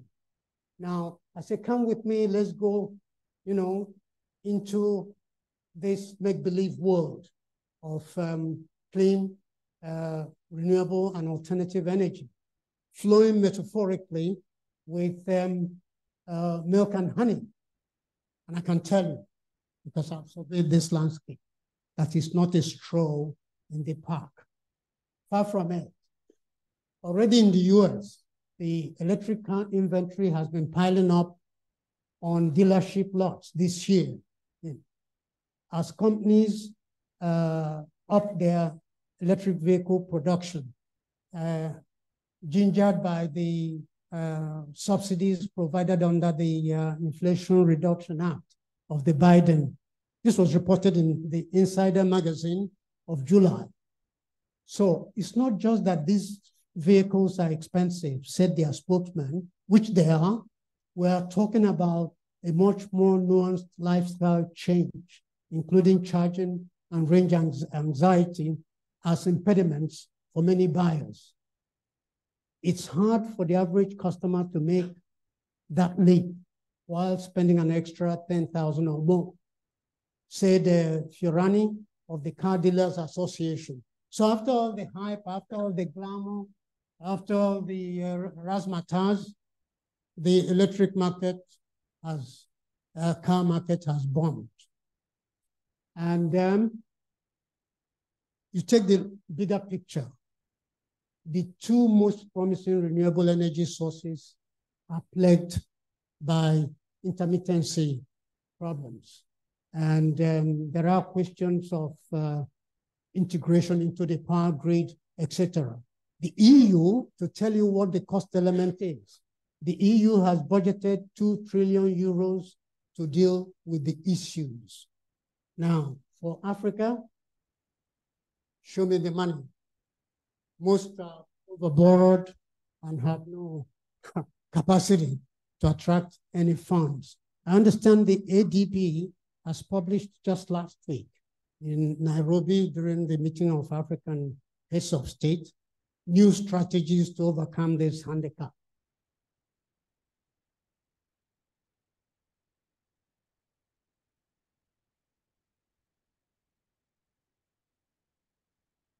Okay, so there are all sort of problems and I'm going to go very quickly. So let's ask ourselves, are we seeing the handwriting on the wall? I'm seeing, I don't know about you. Um, but if you look hard enough, Shell PC's um, new boss, Wael Sawan, said recently, I am of the firm view that the world will need oil and gas for a long time to come. As such, cutting oil and gas production is not healthy. This was on the 3rd of March, 2023, yesterday, literally. BP PLC, Shell's closest peer, had a similar uh, uh, assertion that oil and gas, they're not cutting back on oil and gas investments. And when they were asked about the divestments, he said, we're talking about margins, not volumes. ExxonMobil, the same.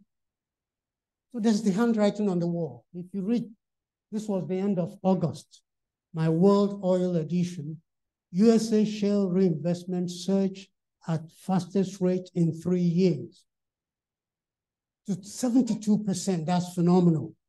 Elsewhere, the scramble for new petroleum acreages in cascading bid rounds around the world speak of the resurgence of the petroleum industry rather than its demise.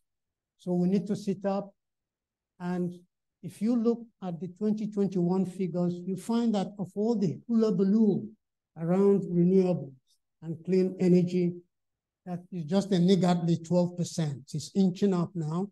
It went up a little last year, uh, but it's still a far cry. Now, remember this guy who talked about the 100 years? You need to listen to him. Now, here, Graham Stuart, the UK Minister for uh, Energy and uh, Net Zero, he says, even when the UK has reached net zero in 2050, this was last Tuesday, September 5, as it is legally obligated to do, his words, it's estimated that around a quarter of the country's energy needs will still come from oil and gas. Is anybody listening? Okay. Come with me again. Here, Minister Stuart again, he said that officials in the UK government have failed to tell the people the story of its dependence on oil and gas um, and efforts to decarbonize oil and gas. Nor has anyone discussed the fact that the energy industry is one industry. That's why when um, Professor Iledare arrived here, he separated them but kept them together, energy and petroleum economics. It makes sense because it's one industry. It doesn't need to be, he said, it's in quotes, it doesn't need to be divided into sheep or goats. I don't like sheep and goats. I prefer Pisces, I mean uh, uh, fish. Uh, my zodiac sign is Pisces.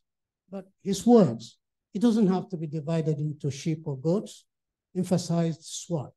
Quote, it isn't divided between the blessed and the damned, the green and the filthy oil and gas.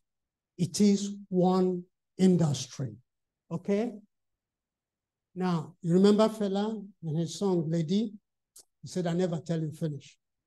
So I never tell you finish. Let's go back to Stuart, referring to the potential to exploit new and emerging technologies such as hydrogen production, carbon capture usage and storage, offshore uh, wind. Stuart said, noted that it is traditional oil and gas companies that are going to deliver these projects.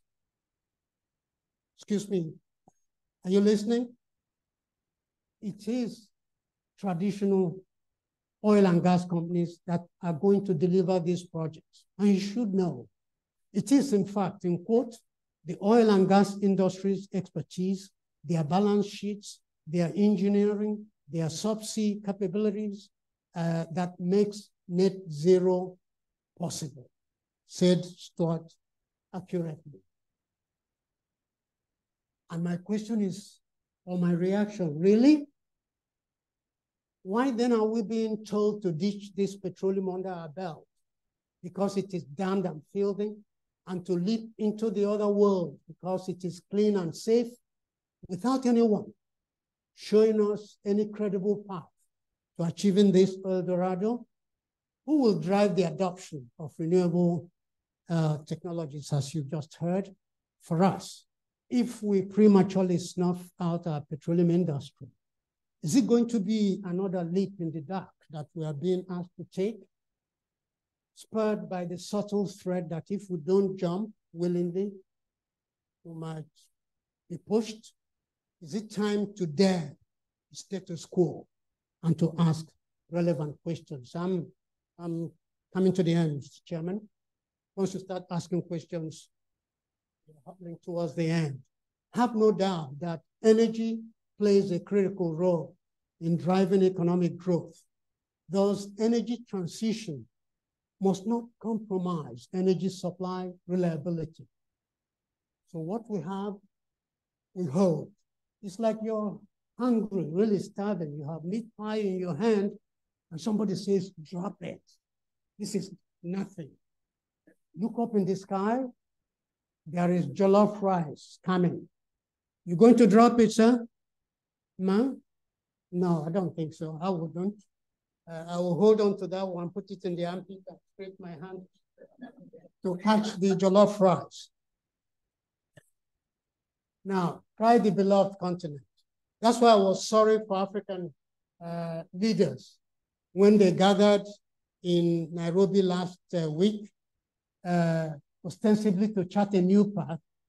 But in the preambular part of their declaration, I saw that paragraph five, climate change is the greatest single most important issue confronting humanity. And I said, really? They had been cued to sing somebody else's song. Where do they place institutional poverty, hunger, disease, unending conflicts linked to uh, gross underdevelopment, engineered by global geopolitics to pin the continent down and those of you who are old enough will remember one song, Fa, fa, fa, fa, fa, fa, fa. It's a sad song. That's what your leaders were singing. Time to call a spade a spade. Is it time? I think I have three slides. Well, time, is it time for serious reflection based on the journey that we have undertaken, based on the continued evidence of the continued viability of petroleum and the evident flip-flops of our co-travelers in the global energy transition journey? Is there a necessity for developing countries and particularly African countries and AOSIS, that's the island states, to pause and reflect on ways to navigate the energy trilemma of energy security, energy affordability, and energy sustainability. If I didn't mention this, a woman will kill me. Um, but that's the energy trilemma without necessarily being victims of a herd mentality and strapped to the much vaunted single track global energy transition model. The danger of being left in a lurch is real. There is nothing immutable in a treaty. Amendments are more of the norm than the exception. So I wanted to take you into history, but I don't have that time. So I'm going to jump I talked about pie in the sky, talked about dematerialization, and you can read this in the full uh, uh, rendering of this. Remember the pig theory. And then now we'll talk about depetroleum, uh, petroleumization. Don't look for that in the dictionary, it's my coinage. And my answer is no chance. Too big to fail or to vanish. That's the reality of petroleum. Now, the Paris Summit, uh, 23rd of June, they've come up with new stories about carbon pricing, about uh, um, long-term affordable financing. All that came to my mind when I read this, when I read this is beware of the Ides of March. Don't ask me what that means. I'm still trying to figure that out. Now, Nigeria with a developed petroleum industry can take the lead in changing the status quo and enlist the African Union uh, now that it's been um, granted G20 membership. You can test the waters and see what they think.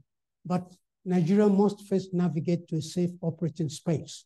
Nigeria must deliberately, aggressively, and impactfully reposition its petroleum industry including a reasoned diversification of its value chains and rational pursuit of the national gas policy.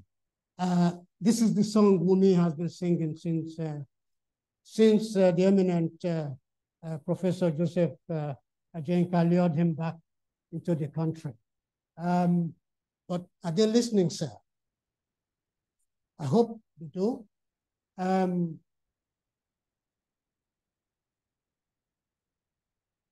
so these are things that I've talked about endlessly on different platforms, and I'm not going to repeat.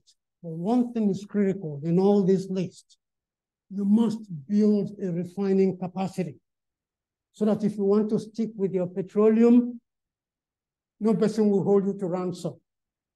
And I was teaching a course Wumi took me to two weeks ago in Abuja, and they asked me, why is Dangote, um, why is Dangote building this when they're shutting down? I said, no, first, nobody is shutting down. Don't believe all the hype.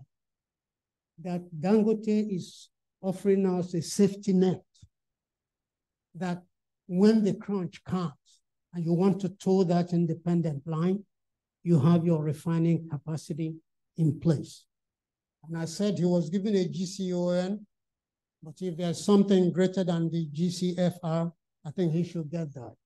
But we need to solve, for goodness sake, the refining capacity issue. Is it a tall order? These things I listed? No. Geez, no. Uh, just look at Singapore. It took it only 30 years to transition from third world to first world. All this abracadabra, the painting, has a 30-year lifespan till 2050, 2060. So you have time, you have space for maneuver. Malaysia, similar but not exact history. And for goodness sake, look at Rwanda. They took, UNDP took our governors to go and learn governance in Rwanda. Only yesterday, Rwanda was steeped in the aftermath of um, the genocide in the 90s. Today is the shining city on the hill. So it is doable.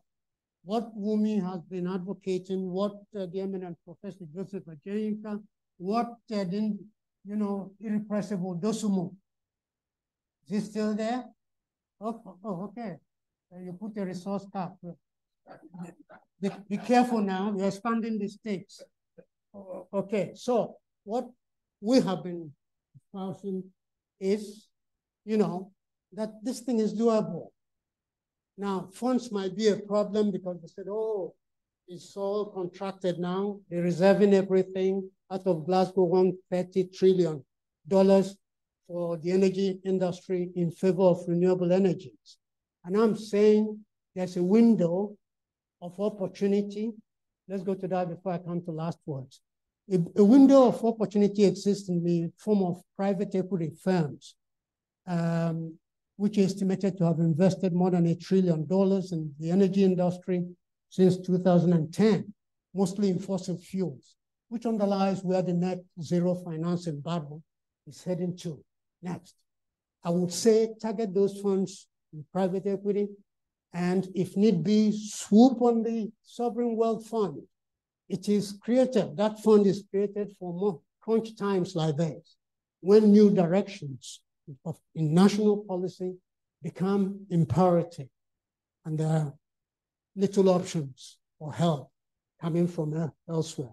Mr. Chairman, I'm glad I didn't have to protest, so I'm on my last slide. Uh, thank you very much for being accommodating. So I ask, is it time to review this one size fits all model of the global energy transition? Is it time to engineer or ask for a reset? Is it indeed, ladies and gentlemen, as good a time as any for Nigeria as the big boy of African geopolitics to galvanize the continent, to interrogate this global imposition of a monolithic strategy for a livable world, and in so doing, safeguard our collective future so that, we ask this question, so that our children, most of you on the upper ranks, they are children, and your children, and their children, children, will be able to look back at such intervention as this in history with pride and say, that was our finest hour. Thank you very much. Doma arigato.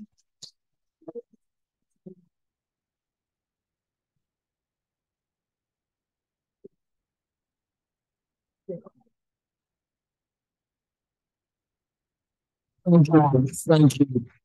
Thank you for that. Thank you, Lord speech. We've learned so much. Please, once again, can we give so eBay another round of applause?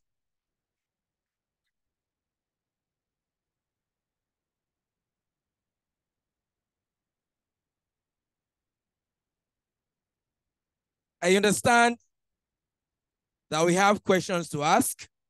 I understand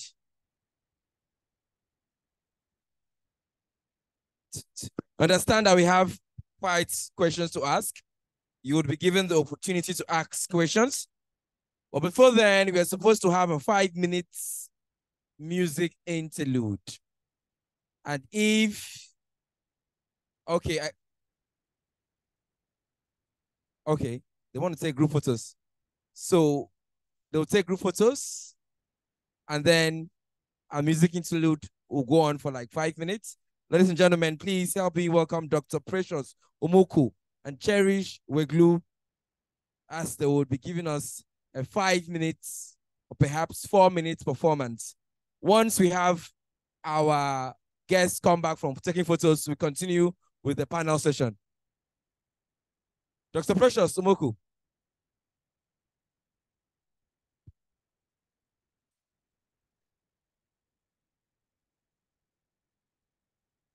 In five minutes, we'd like to see have you back to your seats, please.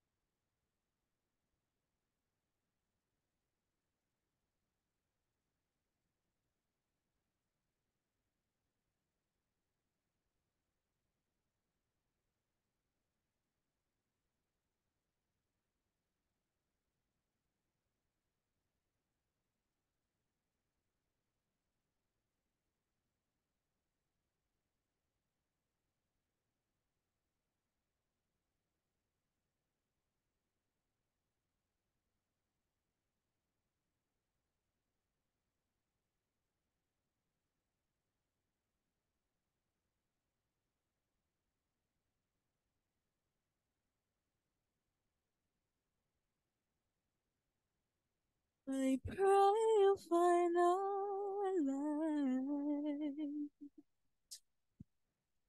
and watch us where we go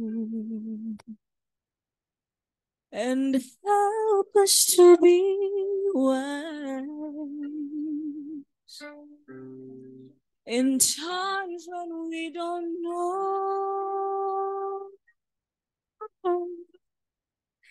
Let this be our prayer. When we lose our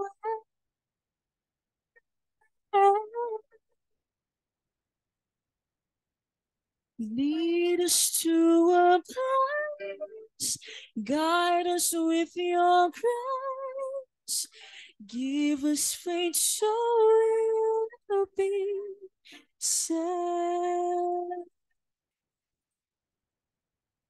La luce che ti dà Find your light in cuore resterà. and hold it in our heart.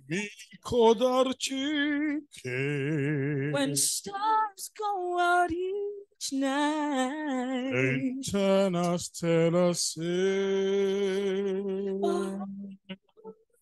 Oh, oh, Nella mia preghiera, pray. quanta fede che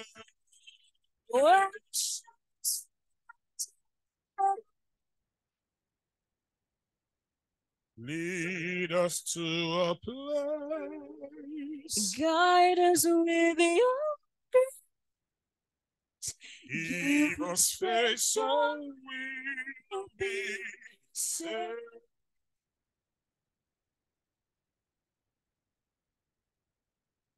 Sogniamo mondo senza violenza, un mondo di speranza. Ogni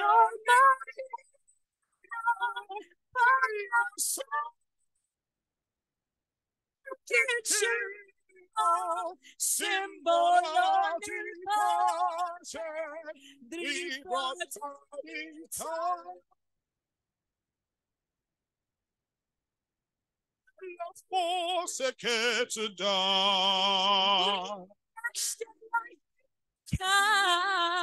Pensi rendi orché And watch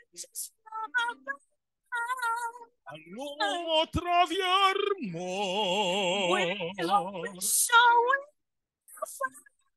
and stella dentro che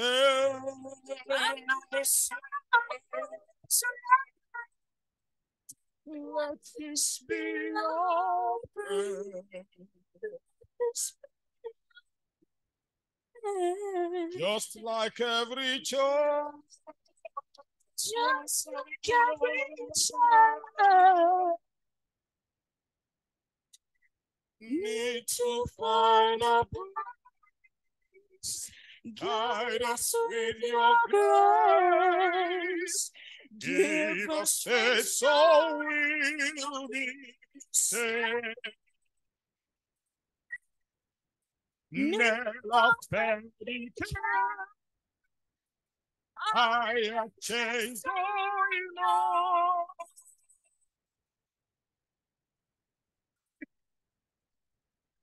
Sento che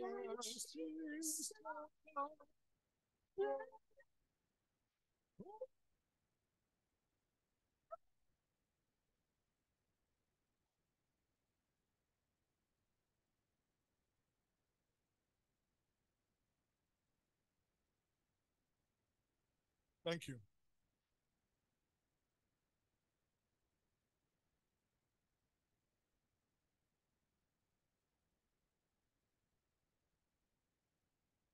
Would like to request that if you see some seats in front of you, kindly come down, fill them up for photo optics, for good photo optics.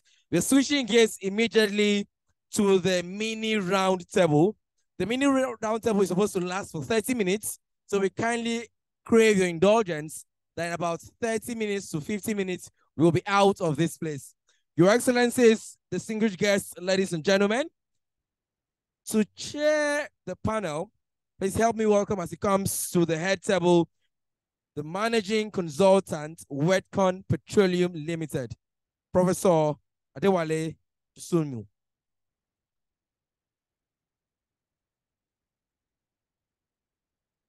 Would steer the entire session.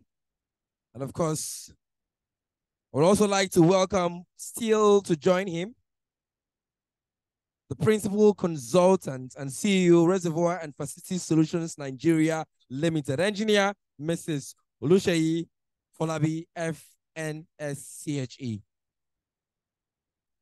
Still joining them, still joining them would be the keynote speaker. I want to believe he's back to his seat. Prof. Chidi Ibe, please kindly send a text to him if he's outside so that Prof. Chidi Ibe can join them on the head table. And still joining them will be the Executive Director, Emmanuel Egbogah Foundation, Professor Wumi Iledare, who will join them on the on the session. Professor Wumi, please round of applause for him as he joins them. I want to confirm that the two participants that are supposed to join virtually, are, are they online? Okay.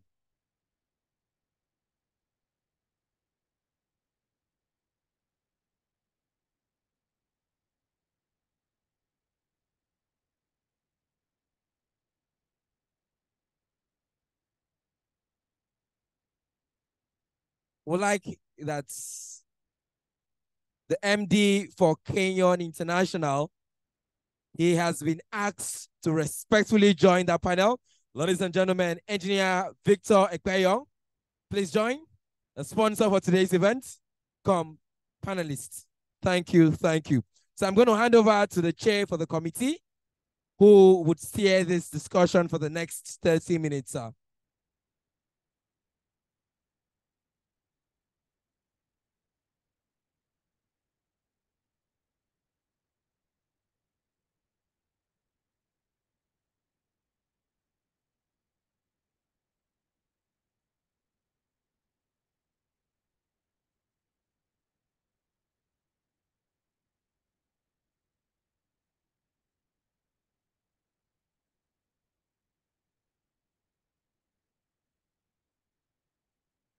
Okay. Please, can you come down, please, so that we can have good photo optics, please? Don't leave any space in front of you. Thank you. Good afternoon, ladies and gentlemen. Welcome to this second session, which is the panel session, where we are going to look at aspects of our topic. The topic, of course, as you're aware, is um, climate change and geopolitics of energy transition, which is one of the burning questions globally as of now. Prof has done an excellent job. Took us from the age of firewood to where we are today. And he raised a number of questions. And I think those questions are the ones that we need to answer at this panel session. And luckily for me, I have a repertoire of people on this panel who have, if you look at the combined experience here that I have across here, maybe you'll be talking about 200 to 250 years of experience. You look at it, what you have here. So what you are going to get are people who are going to bring their practical experience to bear on a topic that is very important. But let me say one thing. One thing is that in all these presentations, I don't know if you noticed, there was complete silence for Africa. There was complete silence for Nigeria. we, are, we contribute only 4% to issues of pollution globally in terms of CO2 emissions and all that. But we are likely to bear the brunt of more than 90% of what's likely to happen. So people sit at the table. And if you also noticed, in the recent past, China has been running to Africa. US sending people to Africa. Coups have been taking place in Africa. They after Cameroon to chase for uranium and other minerals that are there. I don't know if you can notice a trend. You know, sometimes my people say that when a witch cries in the night, and the baby dies in the morning. You don't need to look far to know who has killed the baby. So I believe that those who are here who know maybe to tell us who killed the bad baby. You'll be able to tell us. So we have that experience, and um, we're going to try to share. We have only about 30 minutes to be able to look at this. And I'm going to give them the latitude. Haven't listened to what they have done, haven't had maybe an idea of what they want to present, to give us an idea on this particular issue. Climate change, we know, is there. You see a lot of global warming, flooding in China, flooding in Libya, flooding all over the place. The Bayelsa Road being closed for two months and all that. We know it's there. Now, what role do we have to play? So I'm going to allow each of the people that are here, one, two, and I've got three. Uh, maybe they take like uh, five minutes, that's 15 minutes each, 15 minutes on the total. Then we go back for questions, and then maybe we'll wrap up in the last five minutes. I don't know if that's good. Do I have an opinion? Do I have a consensus? Do you have an agreement on that? You know, when they say the A's have it, so the Yes have it. So, um, and what they have told us is that we must respect ladies. You know, when you have a lady in the car, you are required to go around as a gentleman, open the door for her to come out of the car. So in this case, on this table, I have a lady, so I'm going to ask her to take the first shot. So Shay, if you don't mind, please kickstart it. You've listened to the prof. Look at the topic, and then let us know where we need to go. Thank you. Thank you very much, Prof. Good afternoon, uh, ladies and gentlemen. I cannot say any more than the standing ovation that uh, Professor Ibe received after his uh, paper. It was such an excellent paper, and it actually spoke out a lot of the things that I have been saying in the background as well. Um, oil, petroleum is politics. Politics is petroleum. It has been like that ever since um, we discovered oil. People went against Rockefeller, broke up his uh, industry into seven sisters. So we've known that this is an industry that has always had the eyes and ears of everyone because it affects us. And just like the prof was saying, petroleum products are all around us. There's nothing we can do. The capsules that you take, the wrappings, that plastic that contains the medication is petrochemical. And so from the beginning of time, when God actually decided that we should be able to discover this product, I would say that somewhere in Akure, when they first found it, they were using it to cure fleas on their dogs. So definitely petroleum product is a naturally occurring product and it's there for our use. Now, there is politics around it and everything that Professor Ibe said earlier on is actually what is going on. And my, my own perspective is Africa just always likes to be dragged in by the nose. You know, we do whatever the colonial masters ask us to do. When are we going to actually cut off the chains of slavery and do what we want to do? If you look at it, since 1956 that Nigeria first found oil in very large quantities in Africa and other countries like Libya and the rest of them. We've been finding more. There have been countries now that we never even thought would have oil and gas that have oil and gas now.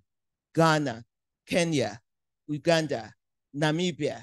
And the majors are all in these countries. So what is it that they're saying with one side of their mouth and the other side of their mouth is doing something else? we got to decide. And I like the fact that you referred earlier on to the refineries. We've got to make our refineries work. Uh, personally, Port Harcourt is a dear and near city to me. I don't live here now, but I lived here first time in 1983 when I worked at the Eleme uh, um, refinery. As a young engineer, uh, pupil engineer, I was still in school, but I came for industrial training everyone that ran that refinery at the time were Nigerians. There were no experts there. I was there for six months. We did turnaround maintenance by Nigerians for Nigeria. No one knew. We didn't have fuel scarcity. People didn't queue up there at the at the gas stations. Then I came back and lived here for another five years. So it's a near and dear city to me. There's a lot that we could do with not bad mouthing what we have. Whatever we have, you know, we must use. Now, we also have solar power and we also have wind. Somehow we're so blessed. We have every type of energy. We can even have agricultural energy. People can grow acres and acres of corn and make methanol out of it. So Nigeria and Africa is blessed. And we just need to take our destiny in our own hands and begin to use it. What God has given us, let's use it for ourselves. We've got the population, we've got people in Africa that depend on Nigeria. We need to rise up and become the leader that really we are truly are. We must do what it takes to run our continent appropriately. And that's where I'll stop now until we get on to the next person. Thank you.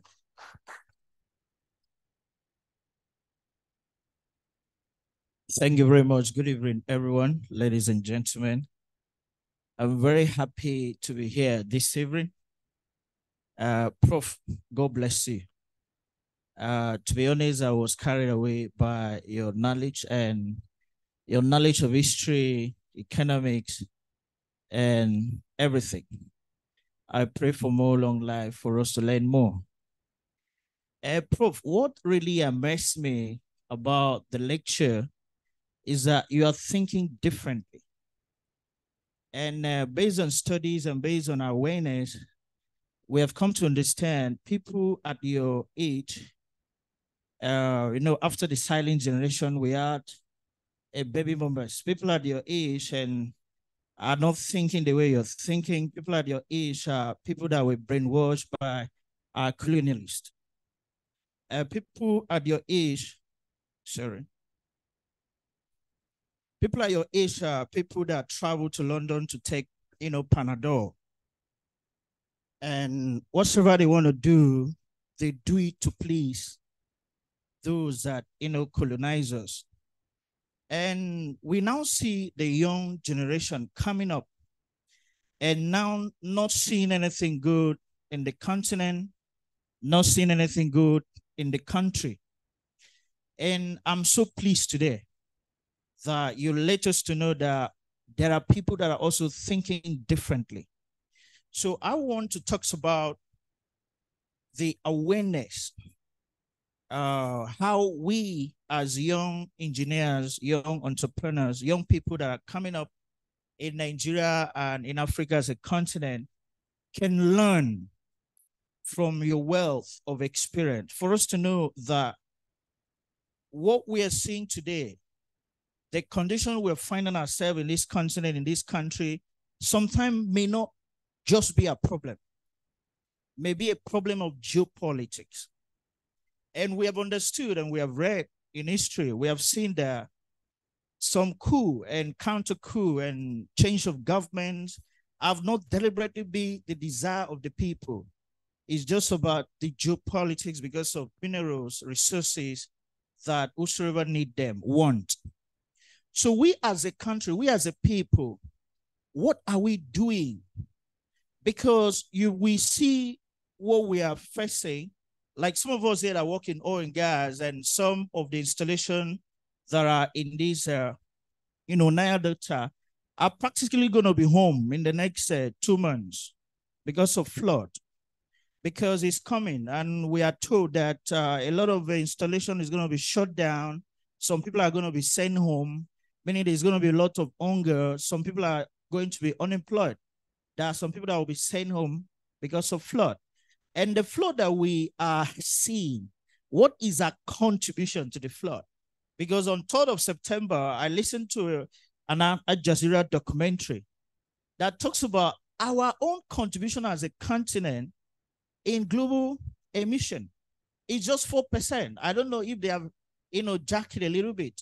Because even the 4% is South Africa, Algeria, and Egypt. We are not contributing anything in what is going on. And we are the one being at the receiving end as a flood is coming. A lot of home will be sacked. People will now start going into public, you know, facility to find shelter. So we need to advocate. We need to educate our people for them to understand that we need to rise up and start looking at our people, start looking at our resources. What can we do with our resources? Us, the company I represent, I'm a founder of Kenyon International. We have seen how we have deliberately, as a people, still push or still inflict pains in our nation when it comes to oil and gas, you know, vandalism, oil theft, uh, breaking of pipelines and stealing of oils and other stuff. You now discover that we are not helping ourselves. We're not helping our, our, our community, neither are we helping our economy. You discover that we need money. Is finance. Prof, as towards the ending of your slide, you made mention of finance. We need money for us to be able to do what? To build infrastructure. We need money for us to be able to what? To build healthcare. The stolen oil is other continents that are still benefiting it because we are not refining it in Nigeria. It's still other countries, it's still other continents that benefit from them. When they steal the oil, where do they sell them? Because it's not being refined here. What what is the volume of some of these uh, local refineries or these, uh, what is the volume?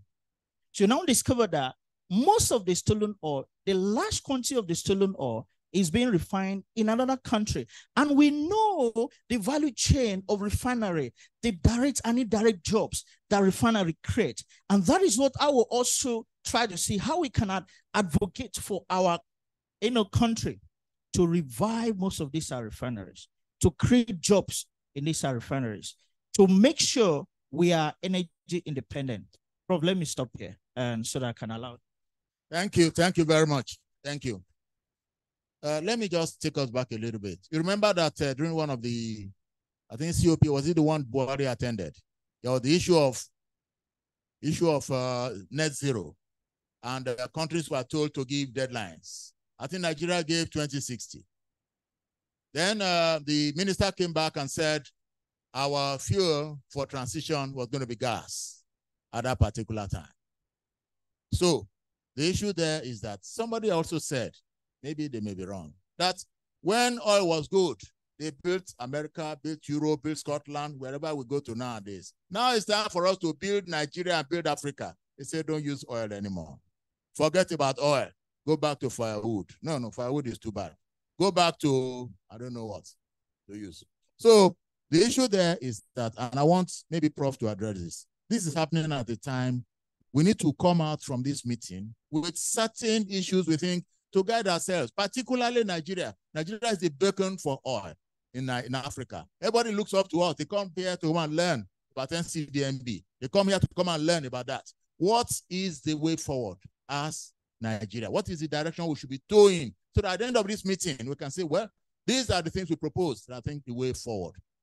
Going, looking against the background of the fact that they gave us 1.7 thereabouts oil production, we can't even meet it. Sometimes we do 1 million. I think last month we do 1.4. There was a lot of clapping for everybody. everybody. I don't know. So, so these are the issues. And then Saudi, of course, and uh, Russia, they decide to cut back to raise price amongst other things. So I want Prof to, against the background of his presentation, to look at this and tell us what do you think Nigeria should be doing at this point in time? What are the policymakers supposed to do? What will be the roles of the academia in terms of championing the experts in the industry going forward in terms of placing Nigeria and Africa on that table? You know, in 1884, they sat at the table and took a knife and shared Africa. And they are trying to do the same thing now for this oil, for this uh, energy transition. So, Prof, is their knife going to be longer than us? Maybe you need to tell us. Um, I wish to protest uh, th this imposition. My um, my deal with um, uh, Professor Iledare ended with the keynote. I wasn't supposed to be part of this, um, but I was lured onto this stage by Dr. Susan. Where's Susan? I trusted her. She said, just sit on the table and, and look what I've got out of it. You know. Um, but Wale, we haven't seen for a while, so I'm going to do this for you. The first part was for me, this one is for Wale. Um, one of the history uh, stories, one of the stories from history I wanted to tell you, which if you're in the mining sphere, mining as a whole, went to the Royal School of Mines, Imperial College. My thesis was on the origin of petroleum.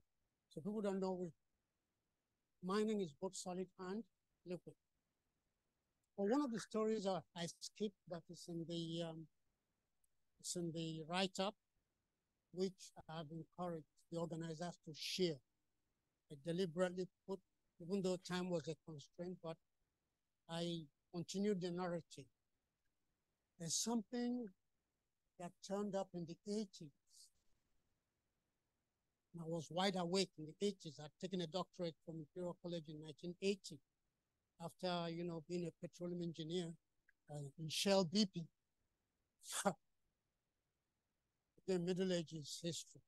But one of the things that played out in the um, 80s was the issue of what became known as dematerialization. It's from where I coined depetrolization, petroleumization. And it concerns Asia. So what is happening in Africa now is not different from what happened to uh, Asia in the 70s and 80s. The Asian countries had looked into the future and knew they had distinct advantages for shipbuilding, heavy industries, car manufacture, and they had blueprint, put an expert from across the world, paid them good money, and they made these designs for them as basis for industrial take-up. And the industrialized world engineered a slump in the price of um, uh, minerals, solid minerals. The economy tumbled. And the apostles from the Bretton Woods institutions, the IMF, World Bank, all the think tanks in the US and the UK and Germany flooded the Asian countries, telling them, listen, we're going nowhere with solid minerals. You better turn your attention to trade and something else. And sometimes that's why it's good to be a. Sometimes it's good to be stubborn and to ask pertinent questions. Why? So the Asian countries held their nerves, said no. We know where we're going. We have designs for industrial resurgence, industrial development, and they are based on uh, solid minerals. So instead of relenting in terms of investment, they put in more money, went overseas and invested in Bolivia, Chile, anywhere there were uh, um, solid minerals, including Congo. Yeah, they invested and continued. When they saw, if you watch the markets, when they saw that these guys wouldn't give up, they relented, the market bounced back. The the blackmail didn't work. The market bounced back and their industrialization plans were back on track. These Asian countries are what we refer to as Asian tigers today. They are the Asian tigers because they held their nerve. And so that's, that's the story I'm telling that if anybody says, heck, um, uh, what's it, uh, petroleum is going to die, they'll, they'll kill it. Don't invest. Don't listen. We've got to hold our nerves. Because like I've tried to tell you, the problem is still the future. All, all uh, uh, analysis, both by governments, think tanks, the oil companies themselves, the minerals industry, private people, show that it's a changing landscape. Certain things will continue to play, but mainstay beyond 2050 will still be petroleum. That's not my conjecture. Is the uh, uh, uh, it's what the uh, analysis and what the data show. So I would say, as a country, we must hold our nerve. Africans are beginning to come, uh, African countries now, almost everywhere is petroleum in Africa. By the time they allowed this to kill, it was only four countries, Nigeria, Libya, uh, Gabon, even Angola wasn't out there by the time these decisions were taken. But now there are, as of today, almost 30 countries out of the 54 in Africa and counting that will be petroleum producing. And then, like you said, they're saying, leave the petroleum in the ground. For who? Thank you very much. Thank you. Uh, we just have about 10 minutes, so I'll just take a few minutes. But I want somebody who is a player to come in here. And the issue is that a few days ago, Agip, that is uh, the one here, they are leaving Nigeria. They put out their share, they're selling everything to uh, Oando. They are, and uh, you know what annoyed me was that they looked at the whole building, the whole assets, they look at the gas plant, look at everything. I know the price, $600 million. It's uh, just, just, just, just take. They just say, just take and run away. That's what they wanted to do. Exxon is leaving Nigeria. Chevron, thinking the same thing. Shell, divesting all onshore assets. What is the way forward? We say petroleum is there. But then for us to be on the table and we're talking, we must have the reserves. We must have the production. If we don't have that, how can we be player going forward in terms of this? Maybe Shay, you can help. And, I can help out there because I've I worked 28 years with ExxonMobil.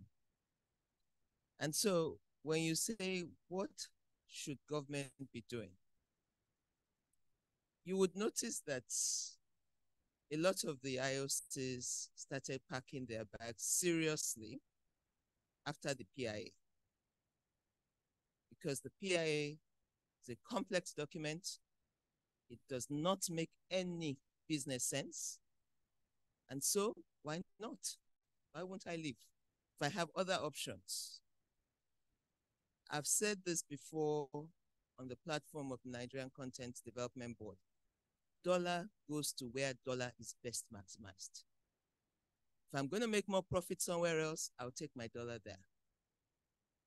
When you have global companies that are working in your country, each company, each country that they're working is contesting for money. And so when you go to the corporate headquarters, what they look at is if I give you one dollar in Nigeria, how much are you going to return back to me? Before the PIA, I used to say that for every dollar that an IOC would declare as profit in Nigeria, 93 cents goes to Nigerian government. They take seven cents home. Yes, and I can prove it.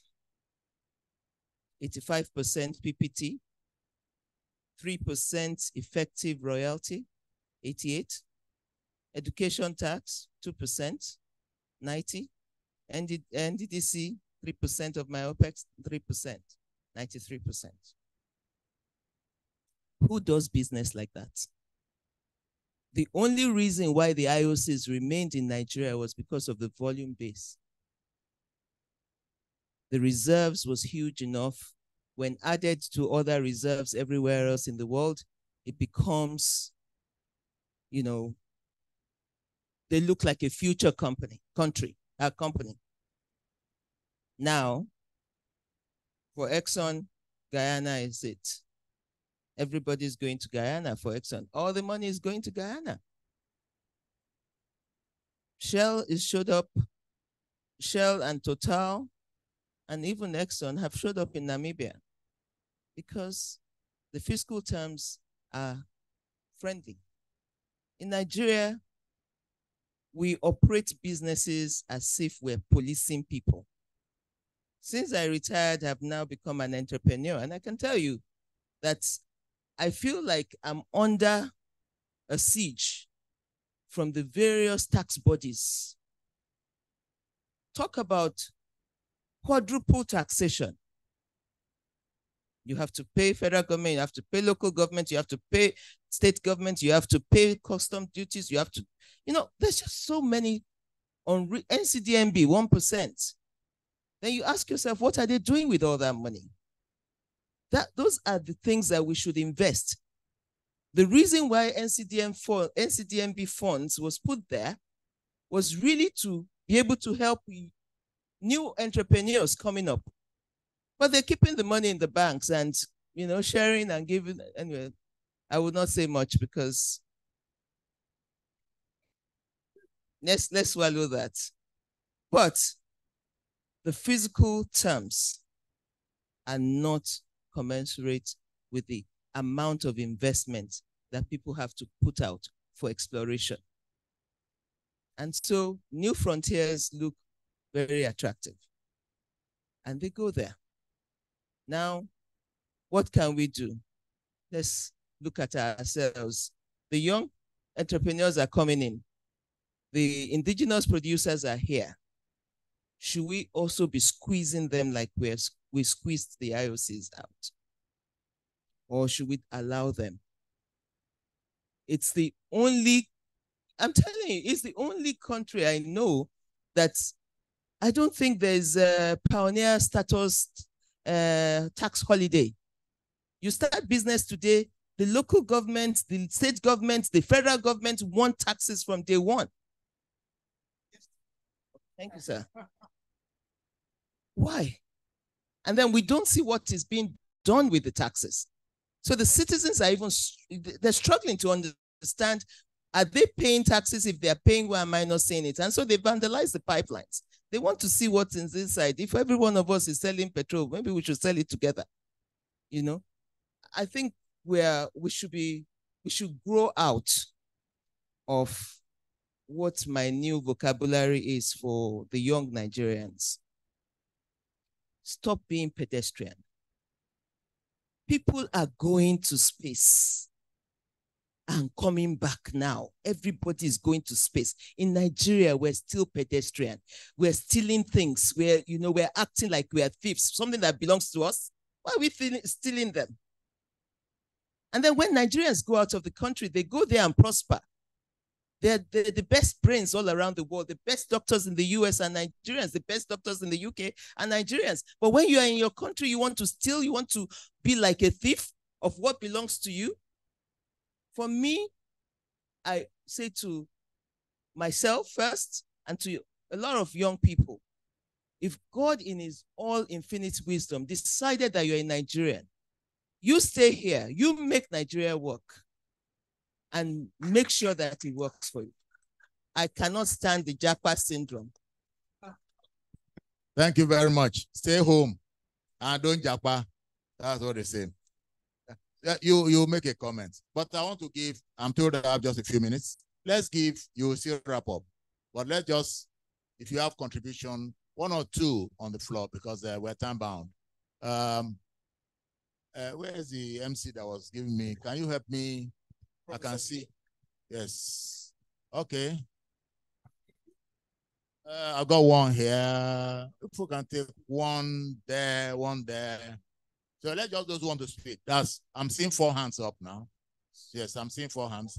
One, two, three, and there's one behind you. No, along that line there, the middle line. How many minutes? How many? Okay, so we start. How many minutes? Uh, minutes? You got seconds. Ah. well, I I needed to react to my special guest with respect to the Petroleum Industry Act fiscal framework.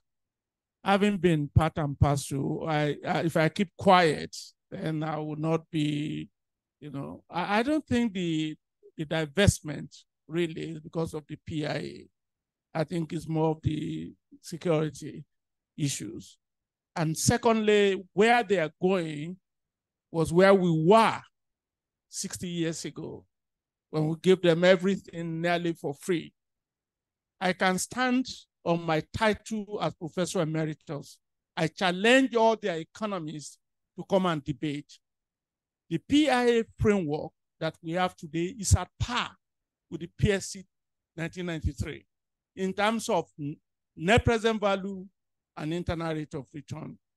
In fact, and they, and I'm on record, are not necessary, they are the one who allowed the PIA to be truncated. And I can debate them anywhere. So I understand your feeling. Yes, yes, you have so many other regulations that are not necessarily as a result of PIA, which they got by the agencies. I, I don't think it has to be with fiscal regime. I can agree with you if you say it has to do with governance that to me remains ineffective, inefficient, inequitable, and unethical. Perhaps that's what's driving them out, not the fiscal terms in the PIA. By the way, they have not even converted. They are still staying with the old fiscal terms.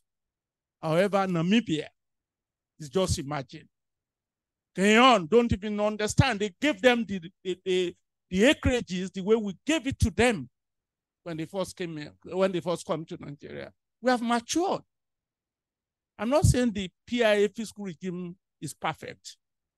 The imperfection of it was due to them lobbying. I won't say more than that, but I challenge their chief petroleum economists on AIT or Arise Television to come and show me what is wrong with the fiscal terms.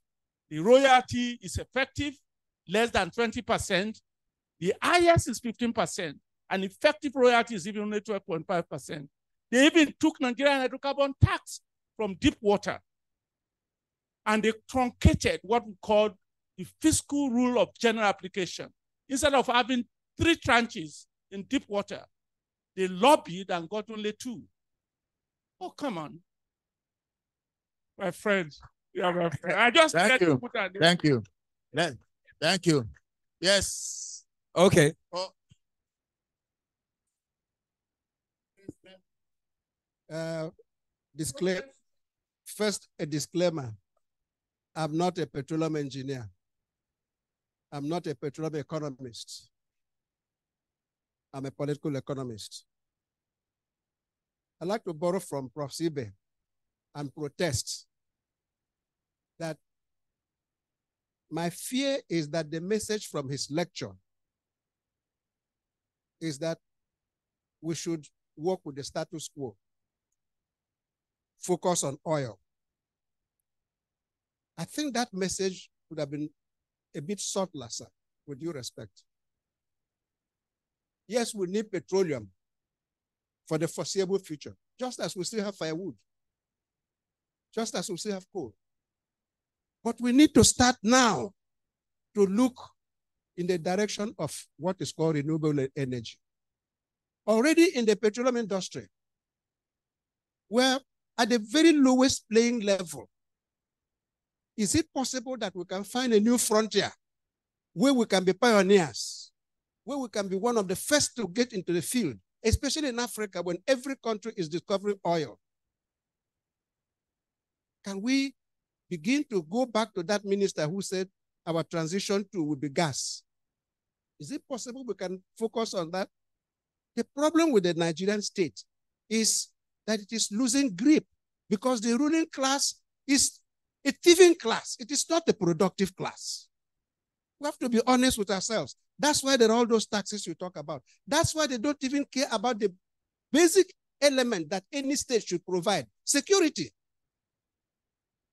You carry your goods.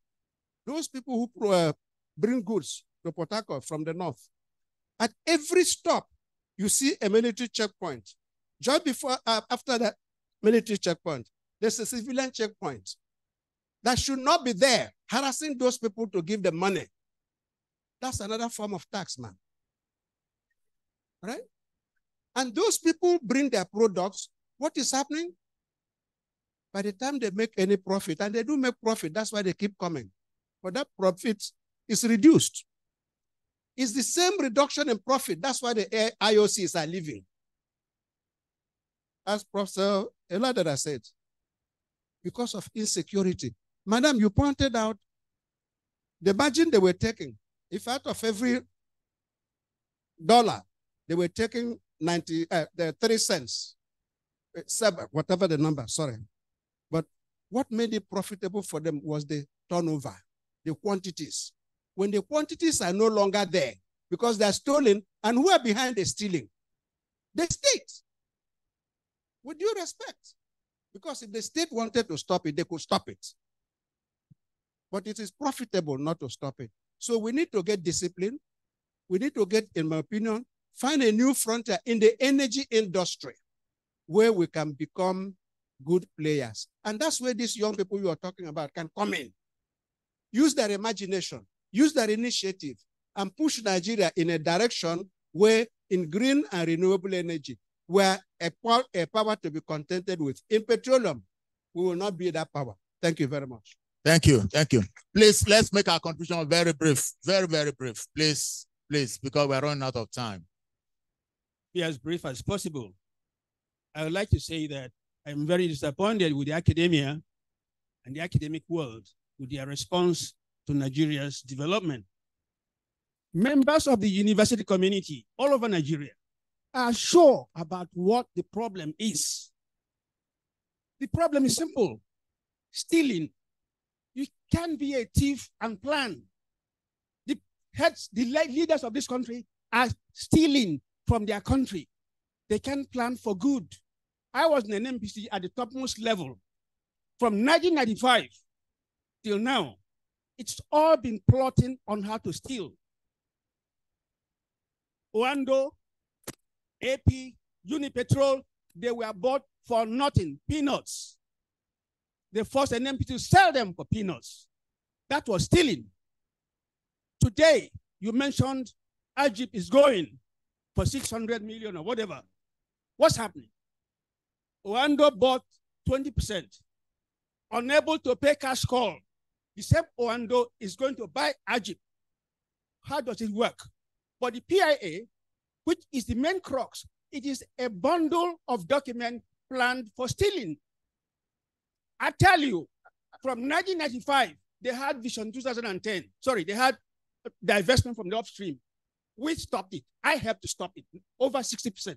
Ask of Dr. Ella and NPC, they'll tell you.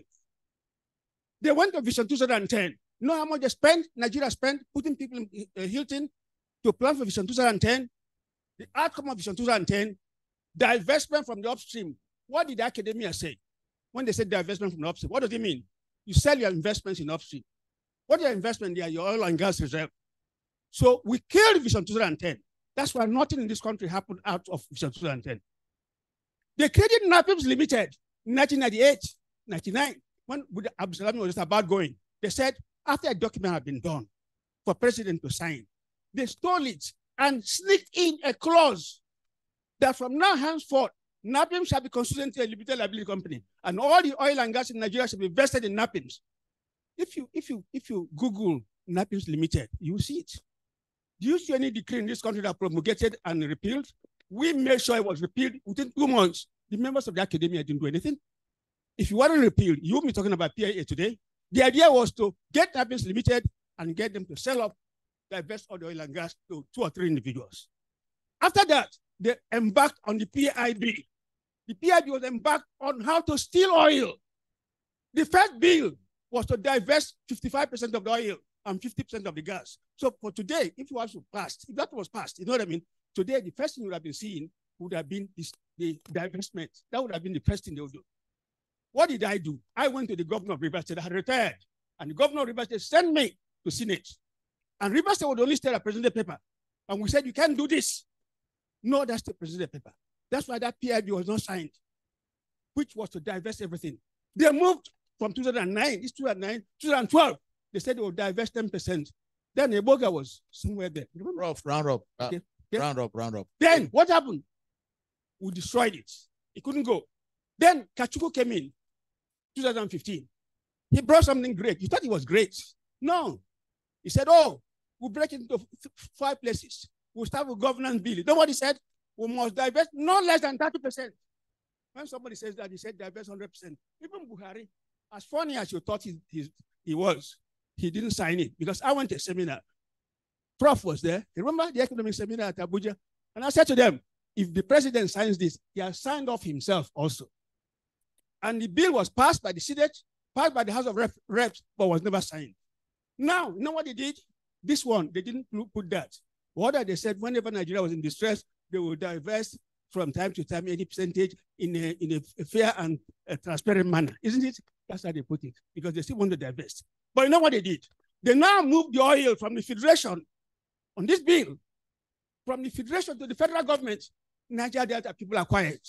University people are quiet. Everybody's quiet. Why? This is stealing. Have you proved it to PIA? You know what happened? The very first presidential advisors to Tinubu, know what they said? Federal government should exit NNPC Limited. Did you not hear that? Did you react? Where are the professors? Where are those people who said the experts? They couldn't say anything. What it means is that when federal government exits, who takes its place? Oando or the rest? Stealing cannot move a country forward. Thank you very much. Thank you. so, Prof, what do you want professors to do? To carry their wig and gown and go and demonstrate? Thank you very much. Thank you. I'm sorry we cannot take more questions, but a number of things. You know, this particular kind of events was first posted by Dr. Egbogah way back in Abuja. I was part of that roundtable at uh, Nicon. No, is it what they was called that time? Was it uh, Transcorp now at that particular time, many years ago? And many people may not know in this room that I was in this room. I can claim to be the first person the Egbogah taught because he taught me when I was a 100 level student at the University of Ibadan at that particular. Before he went to do his PhD, then he had a master's degree at that particular time. So you can see that the filial relationship extends beyond that. But what I will ask is that if you were here today in the situation Nigeria found itself, what would be the recommendation going forward? I'm not too sure that in my mind, I have not been able to get us to land on those issues because for me at any meeting, I believe that we should go away with some whole, some concrete issues. I've not been able to land there, unfortunately, but uh, uh, maybe time is against us, but maybe we'll go around pondering. Let it be a continued discussion. But we do have a challenge. We must we have a big challenge. More so when I saw the Minister of Petroleum for Oil, one Mr. Lokpobiri Heineken. I don't know whether it's beer or star or, or which one of them. But say it's Heineken, maybe he likes to drink that one. Then that's then the one for gas is one of that guy from somewhere. Uh, I don't know. Is he a petroleum engineer? I don't know. Uh, do, you, do you know him? The man petroleum for, for gas. I don't know. But the issue is that, you know, is he? Politician. Ah, okay. Oh, politics of gas, maybe. So, but that's the issue. You need people who have an understanding of, we're talking about issues of geopolitics. And for me, these oil companies that are living, this one going, this one doing that. Are we seeing the voice of Jacob or the hand of the hand of Esau and the voice of Jacob? I don't know. Is it possible that that's what we are seeing? For those of you who read the Bible, you know, you have Jacob, sweet voice, but uh, put here on his hand to be like Jacob, like uh, Esau. Are we seeing that in this particular case? And it's going to be continuous, particularly when we can't even meet up. What are the roles of our indigenous companies? The independents, what are they doing? Can they fill the gap? Nigeria needs money. Now, today, Naira is going for about 930 to 150 to the dollar. Poverty is hitting the land. They are distributing one cup of rice to several people to eat. So you begin to wonder, rice, one bag of rice, several families. Uh, Indomie, two of you share one uh, Indomie to eat. When that finishes, what happens? You drink water. So, so the issue is that we have a lot to think about. I think the challenges are ahead. I think this colloquium has not ended. I believe that um, there are more questions that have been raised than even answers. For me, I believe that there's more to be talked about. Prof, you are talking about trying to rebut to, to rebut what it said, but I don't don't worry. Just don't worry. Don't no, um, because of time constraint, I was virtually doing uh, hop, step, and jump. And in the process, maybe Professor Ekekwe, you listening? Uh, because of time constraint, I was do, virtually doing hop, step, and jump my presentation. And you could see me skipping slides. Maybe something was lost. But um, I, I have taught for Wumi here when he was the director of this institute after he came back. And uh, he's always asked me back and to his international presentations in Abuja and elsewhere, because two of us believe in achieving a rational mix of energies. What I stated was that a wholesale embrace of the zero net strategy as presented to us globally will be an embrace of you know, economic death. But I teach energy security management at the to senior officers at the Nigerian uh, Academy. I've always insisted that you need a good balance between renewables and conventional. A one-line track is a dangerous track. A kill petroleum strategy is a one-track strategy and can never be a, a, viable strategy. So if I missed that point, uh, that's why I thought that the chairman should give me a few seconds to make the clarification. I believe in a rational energy mix as the basis for energy security of any nation, whether developed or developing. You cannot put all your eggs in one basket. You cannot tell us leave the petroleum in the ground and go for renewables. But there's intermittency problems, etc. What do you do with those? The EU, I said, budgeted two, two trillion to solve those problems. They have not scratched the surface. Thank you. Thank you, Prof. You know, the uh, many of you don't know the challenge I have there. The each time I say we want to round up, somebody pinches me at the back and says he wants to say something. I'm sure on the floor, somebody could want to talk. You know, some people say the voice of uh, people is voice of God. I don't know whether they want to say something that could maybe tickle us. If you don't mind, maybe you should give them one minute. You want to say something? Just a minute, please. Let's be very brief. And on my right, too, he's also picking. And I'm sure if, if you allow them to reach me, they will have been telling me they want to say something. So I don't know. Uh, MC, are you giving us more time?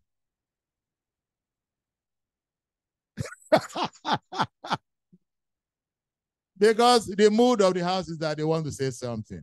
And do we deny them that? Uh, please just give them, but let me let's make it very, very brief so that in the next 10 minutes we are out. Please. Just to uh, sort of um, support what Prof. Ibe was saying. You know, if we say only petroleum, then we're wrong. Because, I mean, diversification is important and all that. Now, I can never pass up the opportunity when I see young people to say a few things. The petroleum industry for Nigeria is sort of well defined we know from exploration to abandonment, and we know what we will do eventually with all the facilities that are out there if oil were to go completely, you know, off the radar. Now we're talking solar and we're talking wind. I believe that this is a university, and so research should be going on now about the abandonment of batteries what are we going to do with all those batteries? Inverters today, people have a lot of inverter batteries in their homes. What are you doing with those inverter batteries? If we leave them in the ground, the lithium is going to soak into the table water. We're going to pollute the world, even worse than what petroleum is doing today. So it's a research institute let's start thinking about what is the abandonment plan when we all convert to solar and we are carrying batteries all over the place. Thank you. Great challenge, great challenge. But maybe before I come to you, let me also mention that we talk of energy, we have the fossil fuel, we have the renewable energy. Now, the major issue in renewables has to do with these minerals, lithium and the rest of them in Africa. So can we begin to see that as another cash cow where Nigeria or Africa can play a role in terms of this? I mentioned the wars all over, the coups in Mali, Cameroon, Niger, and the rest of them. Notice a common denominator in those areas. Is there a role? I know there's a course we used to teach in petroleum engineering called is it alternative energy and all that. We must begin to think of those areas. I don't think I saw lithium in those notes that they were writing at that particular time. I'm not too sure I saw them. So please, let's begin to revise those notes and bring all these factors to play in those areas. Thank you very much, Prof. I think just to add to what you just said, uh, uh, the new government should focus on mineral, you know, solid minerals, because there is a lot and a lot of illegal mining going on in the country. Uh, in my state, Akwa, they just uh, uh, accosted some people that were mining lithium. I didn't know my state had lithium. Yeah, so it, it was in the news, I think last week or so. So we need to, as a country, need to, you know, step up uh, our research when it comes to solid minerals uh, as the world is moving towards renewable energy. Just to add to um, what uh, Prof said, um, or the question that was asked about why the IOCs are, are leaving and bring it to the context of our lecture today that has to do with uh, the geopolitics. Uh, we all understand that uh, Nigerian oil and gas is matured. Uh, it's not in the early stage. And uh, some other countries that are coming in at the early stage, they will come with a lot of incentive, trying to see how to drag other companies to join them. And as businesses, when you look at your numbers and check your if you invest here, what is going to be your, you know, your ROI, you invest there, what is going to be? Definitely you're going to leave here to go and invest there. And if you check most of these countries that most of these IOCs are going, uh, these are countries that are practically going to do 100% and zero local content. And uh, you look at the likes of uh, the Guyana you mentioned, look at some of this country, you discover that uh, what is going to be the local com- you know, content participation and so it's going to be almost 90 something uh, profit, you know, return. So you need to look at the economics that comes into this, and you need to understand that Nigeria as an oil and gas entity is getting matured, and there is a lot of local, you know, participation. And those IOCs, when they see greener pastures anywhere, they need to invest. Definitely, they will go to invest. So it's for our people yeah, the independents that are going to take over some of this asset to make meaningful use of this asset to make sure that there is there is total value chain in our addition into this asset. Thank you very much, my prof. Thank you. I think um, we'll probably need to round up here today. But for me, I think the issue is that um, so that we're not speaking to ourselves, because I believe that whatever we'll talk about here, there should be a way to get this to people who may want to hear. The director is not here, Professor Ajienka is here. Is it possible at some point to see how some of the things that have been elicited here can be cascaded at least to people who can hear some of this? Because policies are made, things are done, decisions are brought to us, and then we just sink and then we go home. Because once we leave this hall now, we all go home. Maybe the director, Professor Iledare, is here. Is it impossible to be able to distill some of these ideas and move them forward. That is what is the way forward. What are the future frontiers? Where will Nigeria be in 10 years, 15 years, 20 years time? That's part of the reason why this building, this center was set up. To be able to generate ideas in terms of these areas. Geopolitics of oil, because what we are doing, oil is political. You know, it's, it's just like there's politics in everything. Even if you go to church, there is politics in church. So, but the issue there is that there's everybody has self-interest. And Prof mentioned something. You say geopolitics and talk about self-preservation. You want to self-preserve yourself. You don't want to self-destruct. I think that is what it is. So uh, in view of the time constraint, I want to thank members of the panel for a wonderful job. Jay, thank you so much for all the time you've taken. Thank you for the presentation. Uh, Kenyon, sorry, I don't know. We've met several times. We're always on panels together, you know. So uh, the only thing is that I'm not happy. You know, when the major companies go, the IOCs go, my consultancy suffers because the money I get reduces. because the small operators cannot drill all the wells. You know, when the operators are there, when they drill 20 wells, then I know that even if I service one well, I can relax for the whole year. Because if they pay me a few thousand dollars and I go to the bank, my I need a pickup to carry the naira home. So, but I'm worried also. So leaving this meeting, I think I need to go and uh, I- I'm very worried. I'll tell my doctor to check. so thank you very much for your patience. Thank you for your time. Thank you for standing here. And as a role for the academia, please, for research, we need to direct our research in terms of areas that are important, areas that are relevant. Don't do research for the case of the shelf.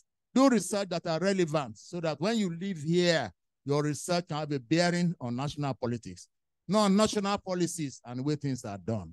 And maybe also, this uh, we should also not leave uh, politics to politicians alone. Alone, professionals should begin to think.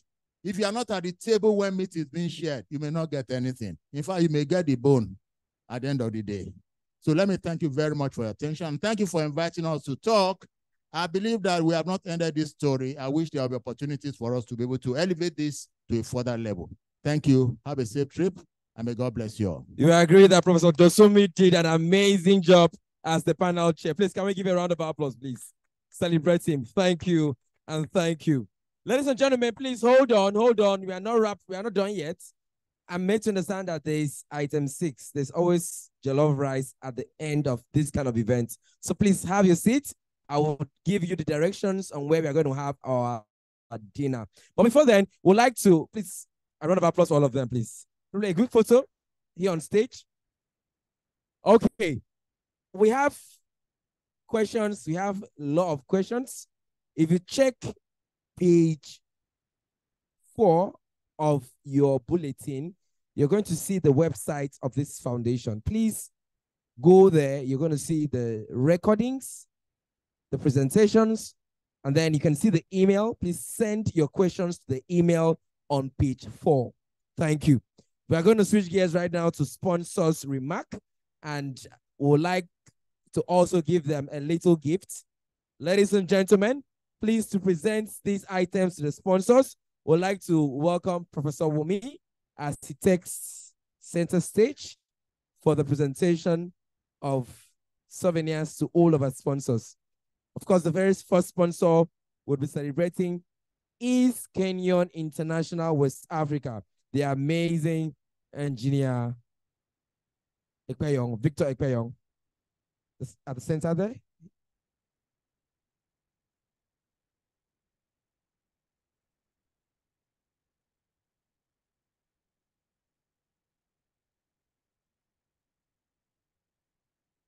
Ushers, thank you so much. Can you celebrate Kenyon if you want to come for this legacy lecture series next year? I believe next year they would support again.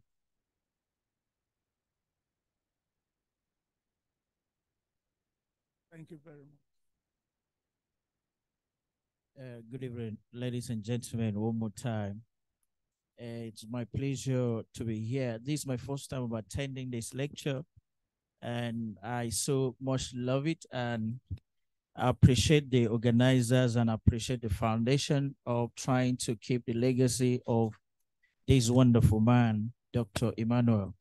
I appreciate uh Prof, you know, Professor me, you know, reaching out and we will always like to be part of this success story, or we like to be part of these organizations that are trying to bring the legacy of Dr. Emmanuel.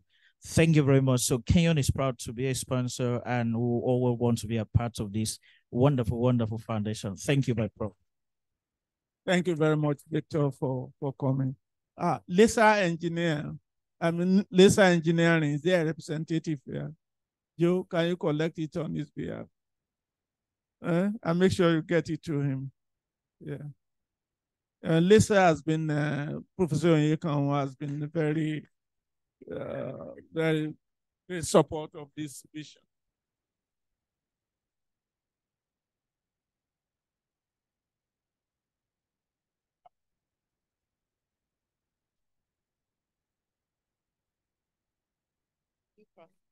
Uh, uh, Chairman Newcross Is New Cross here?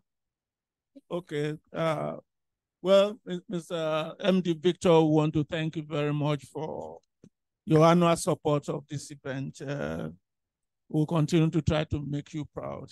Thank you. We'll get it to you. And uh, Oida Energy data.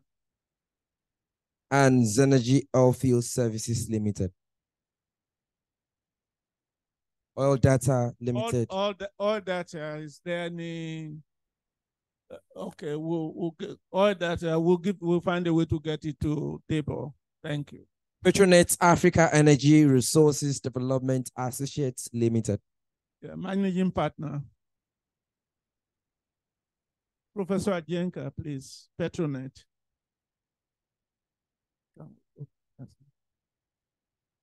Well, we, um, well, thank you, managing partner, for supporting the event. Thank you. Thank you very much.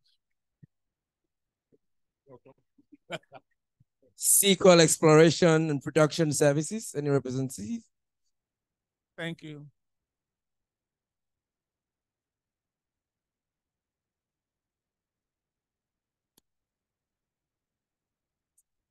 Thank you very much. Uh, uh, please make sure the MD ETA is uh, aware that we sincerely appreciate your welcome. Thank you. Um, good evening, everyone. Um, thank you so much for this event. I had a wonderful time. And thank you for to Professor Chidi. I was telling him I'm a student of international relations, and I felt like a student raising up their hand to want to give a rebuttal to all his lecture. I really enjoyed it. Thank you to the foundation for putting this together, and definitely Sequest will continue to be a sponsor to this inaugural event. Thank you. Thank you. Thank you. Can you celebrate her, please? Walter Smith, Petroman Oil Limited. Well, Walter Smith, we also want to express our profound gratitude. You've supported this uh, event over the last, uh, since we started. And uh, we pray that all our sponsors, boundary lines will continue to fall into pleasant places for you. Uh, this is a noble uh, opportunity to educate and to share the vision of uh, Dr. E over the years. It's about prosperity for posterity. And we see some of these as sponsors really believe in this, and uh, we thank you all for sponsoring the event. Thank you, sir. You're supposed to do a vote of thanks. I want to believe. Okay, please go ahead, sir. Well, I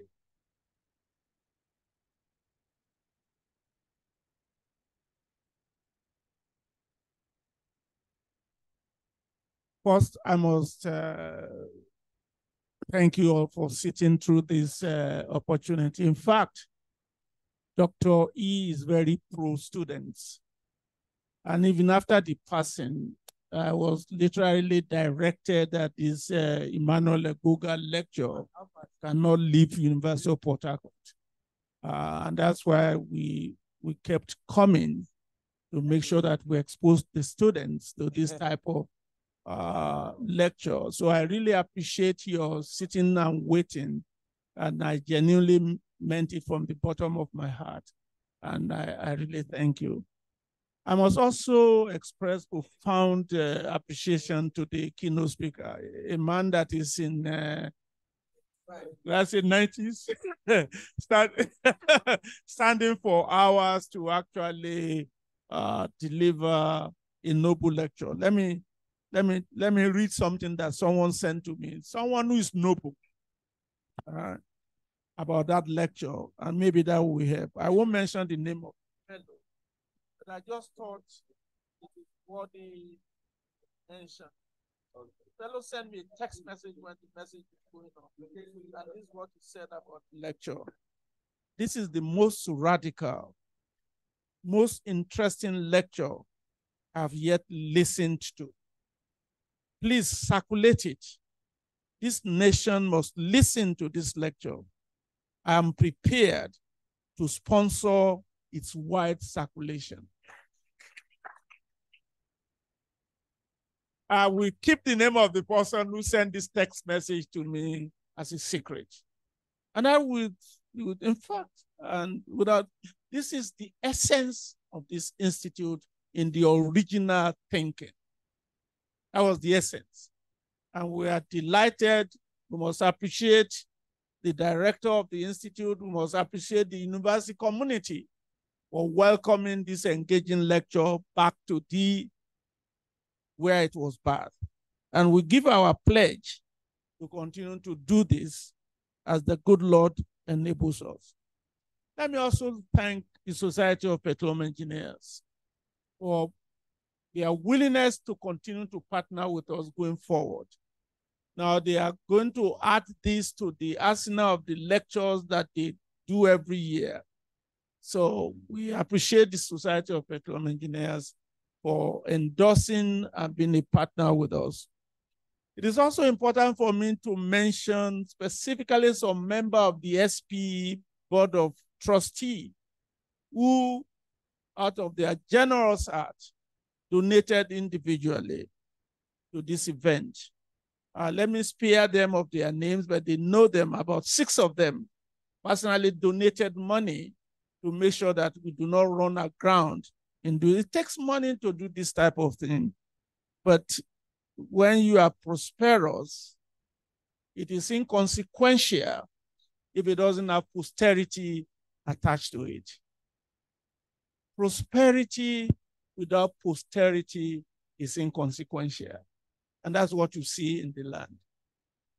That's what you see in the land. I must also express profound gratitude to two individuals who literally have been a pillar for the Emmanuel Egbogah Foundation, the seventh Vice Chancellor of the University of Port Harcourt, Professor Ajienka, who lured me. Did somebody say that? Yes, to this place. I am also thank my general manager, Dr. Susan uh, Fubara, for perfection. If you are gifted, you can order two elderly, you could eminent and distinguished professor along the line that you want him to go. And that's what Susan has done. And I want to publicly appreciate the effort that he has. I want to also express profound gratitude to the Egbogah family for believing in us. And the essence of this is to add value to the society. And that was the essence of Egbogah himself. He left everything to come to Nigeria to add value. And that's why we are committed to make sure that that vision of value creation is continually propelled. But if we take a family to not listen to innuendos, to understand that Ajienka and myself are committed because of the value that uh, Dr. E created in us. And so I want to thank you again uh, sincerely grateful to the IPS students uh, for joining this lecture. You are graduate students. And if there's something I can give to you, graduate education is voluntary. Undergraduate education is not. And then graduate education is about creating a niche for yourself beyond just passing an exam. I want to thank you again. And I want to thank the university, the chairman of the panel, the panelists. Uh, my heart is gladdened because the essence of the energy we put into doing this is not in vain. As to what Nigeria should do, it's easy. We, Nigeria must disavow prebendalism and embrace a transformational mindset. Transactionalism and prebendalism is destructive. Transformational mindset is a shared vision beyond now. The future is in your hand. You must not do what your parents did that had a negative value to the growth of a nation but it will take a purposeful mindset. Otherwise, Nigeria can get you. May Nigeria not get you. I didn't hear amen. Yes. Again, thank you very much. Uh, Thank you. Thank you, Director. Thank you so much, sir. Your Excellencies, very distinguished guests, ladies and gentlemen, we have come to the end of the 12th edition of this Legacy Lecture Series. However, the conversation on energy transition and energy security does not end. Thank you and thank you for being part of us. And would like to announce that the venue for the dinner is the IPS. Once you go out of the door, the main exit, you'll see a small door on the gate. Just pass through that small door, and of course, dinner would be served. At this juncture, please can you give all yourself a resounding round of applause for being amazing, for being phenomenal. And I believe I will see you at the 13th edition, right? For all of our participants online, thank you, thank you. We can see your comments, we can see your questions, we can see all of your reservations. Like we said earlier on, go to the website, drop your questions, go to the website, you would see an opportunity where you can download the slides and also download the recordings. Thank you and thank you. My name is Ofofano Noakan, and my pleasure it was serving as your master of ceremonies. Bye till next year. Bye.